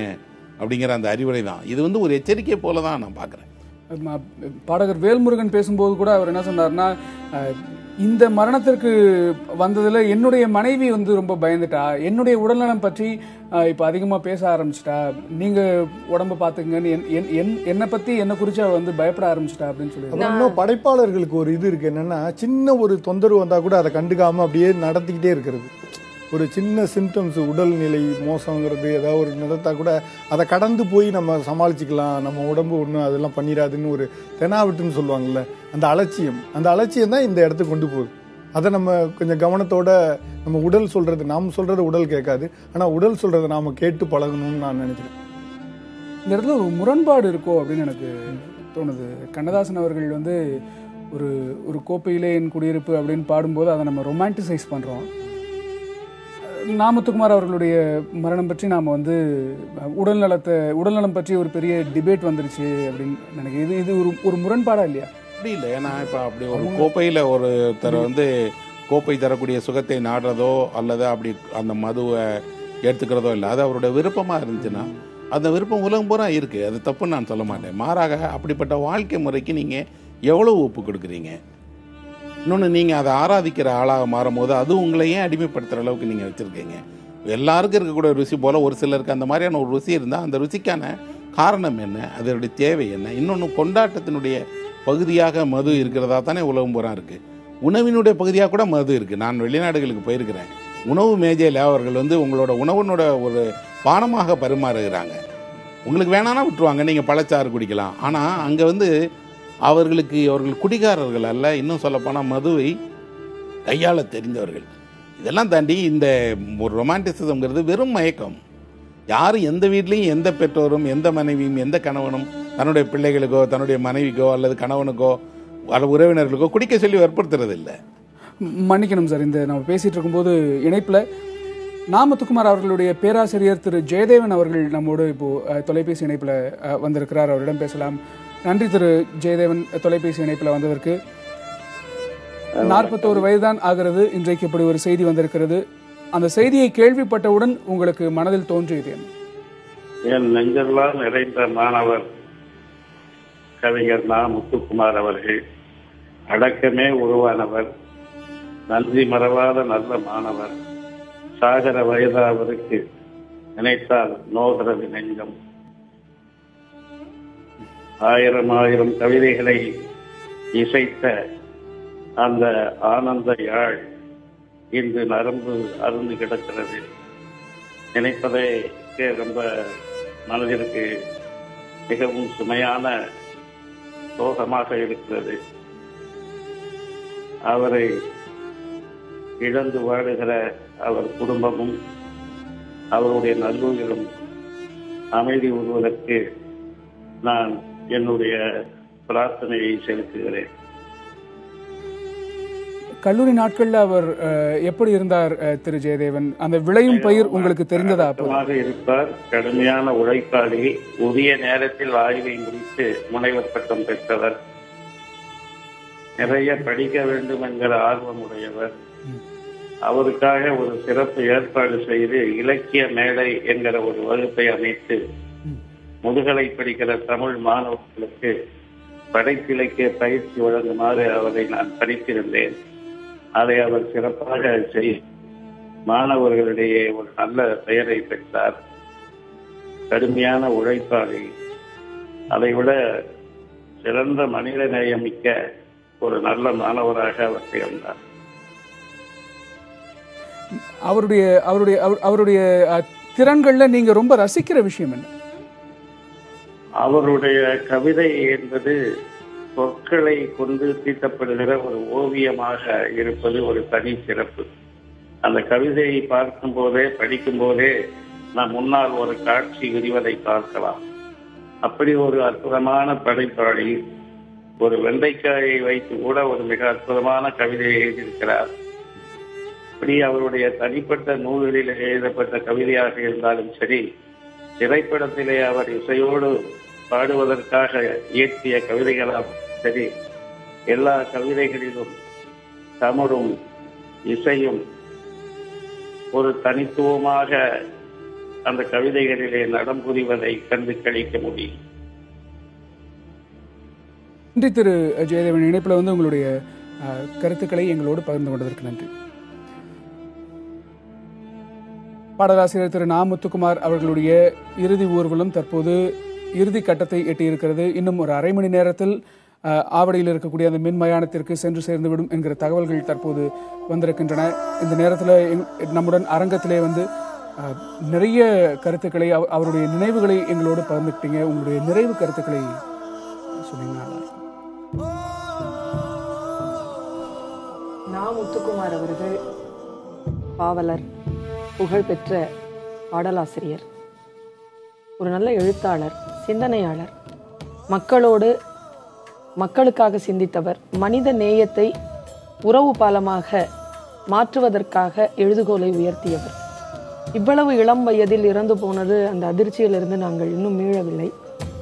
எங்கள் உடன் உலாவிய கல்வி காலத்தில் கல்வி கற்கக்கூடிய காலத்தில் உடன் உலவிய ஒரு தோழன் இன்றைக்கு நம் மத்தியில் இல்லை. ஆனால் அவன் இறந்ததற்கு பிறகும் அவனை பற்றி பேசக்கூடிய அளவிற்கு அவன் வாழ்க்கையை வாழ்ந்துவிட்டு போயிருக்கிறான். அவனுடைய எழுத்துக்கள் அவனுடைய பாடல்கள் தொடர்ந்து ஒலித்து கொண்டிருக்கும். அவரை இழந்து தவிக்கக்கூடிய அந்த குடும்பத்திற்கு அந்த தோழமையின் சார்பாக ஆழ்ந்த இரங்கலையும் வருத்தத்தையும் தெரிவித்துக் கொள்கிறேன். உங்களுக்கு ஆறுதல் அளிக்கக்கூடிய அந்த சூழல் இனிமேல் அமையுமா என்று எனக்கு தெரியாது. ஆனால் உங்களுடன் இந்த உலகம் இருக்கிறது தமிழ் உலகம் இருக்கிறது திரையுலகம் இருக்கிறது. ஆறுதல் கொள்ளுங்கள் நன்றி பேராசிரியர் பர்வீன் சுல்தானா உங்களுடைய நிறைவு என்னுடைய ஆரம்பகால சென்னை வாழ்க்கையின் ஒரு நண்பரை நான் வந்து இழந்திருக்கிறேன். அவருடைய வளர்ச்சி அவருடைய ஒரு படைப்பு திறன் எல்லாமே ஒரு உச்சத்தில் இருக்கும்போது ஒரு வாழ்வாங்கு வாழ வேண்டிய வயதில் வந்து இறந்து இருக்கிறார். ஒரு மனிதன் சாகும்போது ஒரு உலகம் சாகிறது என்று சொல்வார்கள். நாமுத்துக்குமாருடைய அகால மரணத்தின் போது அவருடைய உலகமும் அவர் சார்ந்த அந்த அவர் விரும்பிய அவர் கனவு கண்ட கனவுகளும் இழந்திருக்கின்றன. இனிவரும் காலத்தில் அவருடைய பாடல்களுக்கு எந்த மரணமும் இல்லை. காற்றின் திசையெங்கும் அந்த பாடல் ஒலித்துக் கொண்டே இருக்கும். அவருடைய புகழை அவருடைய பெருமையை அந்த பாடல்கள் மீட்டிக்கொண்டே இருக்கும். இந்த துயரமான நேரத்தில் ஆழ்ந்த இரங்கலையும் வருத்தத்தையும் தெரிவித்துக் கொள்கிறேன். ஒரு திரைப்பட பாடலாசிரியர் கவிஞர் இந்த மாதிரி பேராசிரியர் முனைவர் பட்டவர் எல்லாத்தையும் தாண்டி தனிப்பட்ட முறையில் ஒரு நண்பனை இழந்திருக்கிறேன். அந்த நட்புக்கான இழப்புங்கிறது பெரிய விஷயம். இன்னொன்று அவருடைய பாடல்கள் இனிமையான பாடல்களை எழுதியிருக்கான். அதை இனிமே இனிமையாக கேட்க முடியாது. அது துயரத்தினுடைய பாடலாயிடுச்சு. அதான் நிச்சயமா அந்த அந்த இழப்பு என்பது எப்படிப்பட்ட துக்கம் என்பதை இன்றைக்கு மீண்டும் ஒரு முறை எனக்கு உணர்த்தி இருக்கிறான் நாமுத்துக்குமார் என்று அறிவுமதி அவர்கள் இன்றைக்கு நம்முடன் நேரலையில் பகிர்ந்து கொண்டார். இன்றைய நேரலையில் வந்து உங்களுடைய நினைவுகளை எங்களோடு பகிர்ந்து கொண்டதற்கு நன்றி. பேராசிரியர் பர்வீன் சுல்தானா உறவியலாளர் சுந்தரமுத்தன் அவர்கள் எழுத்தாளர் எஸ் ராமகிருஷ்ணன் அவர்கள் உங்களுடைய கருத்துக்களுக்கு நன்றி.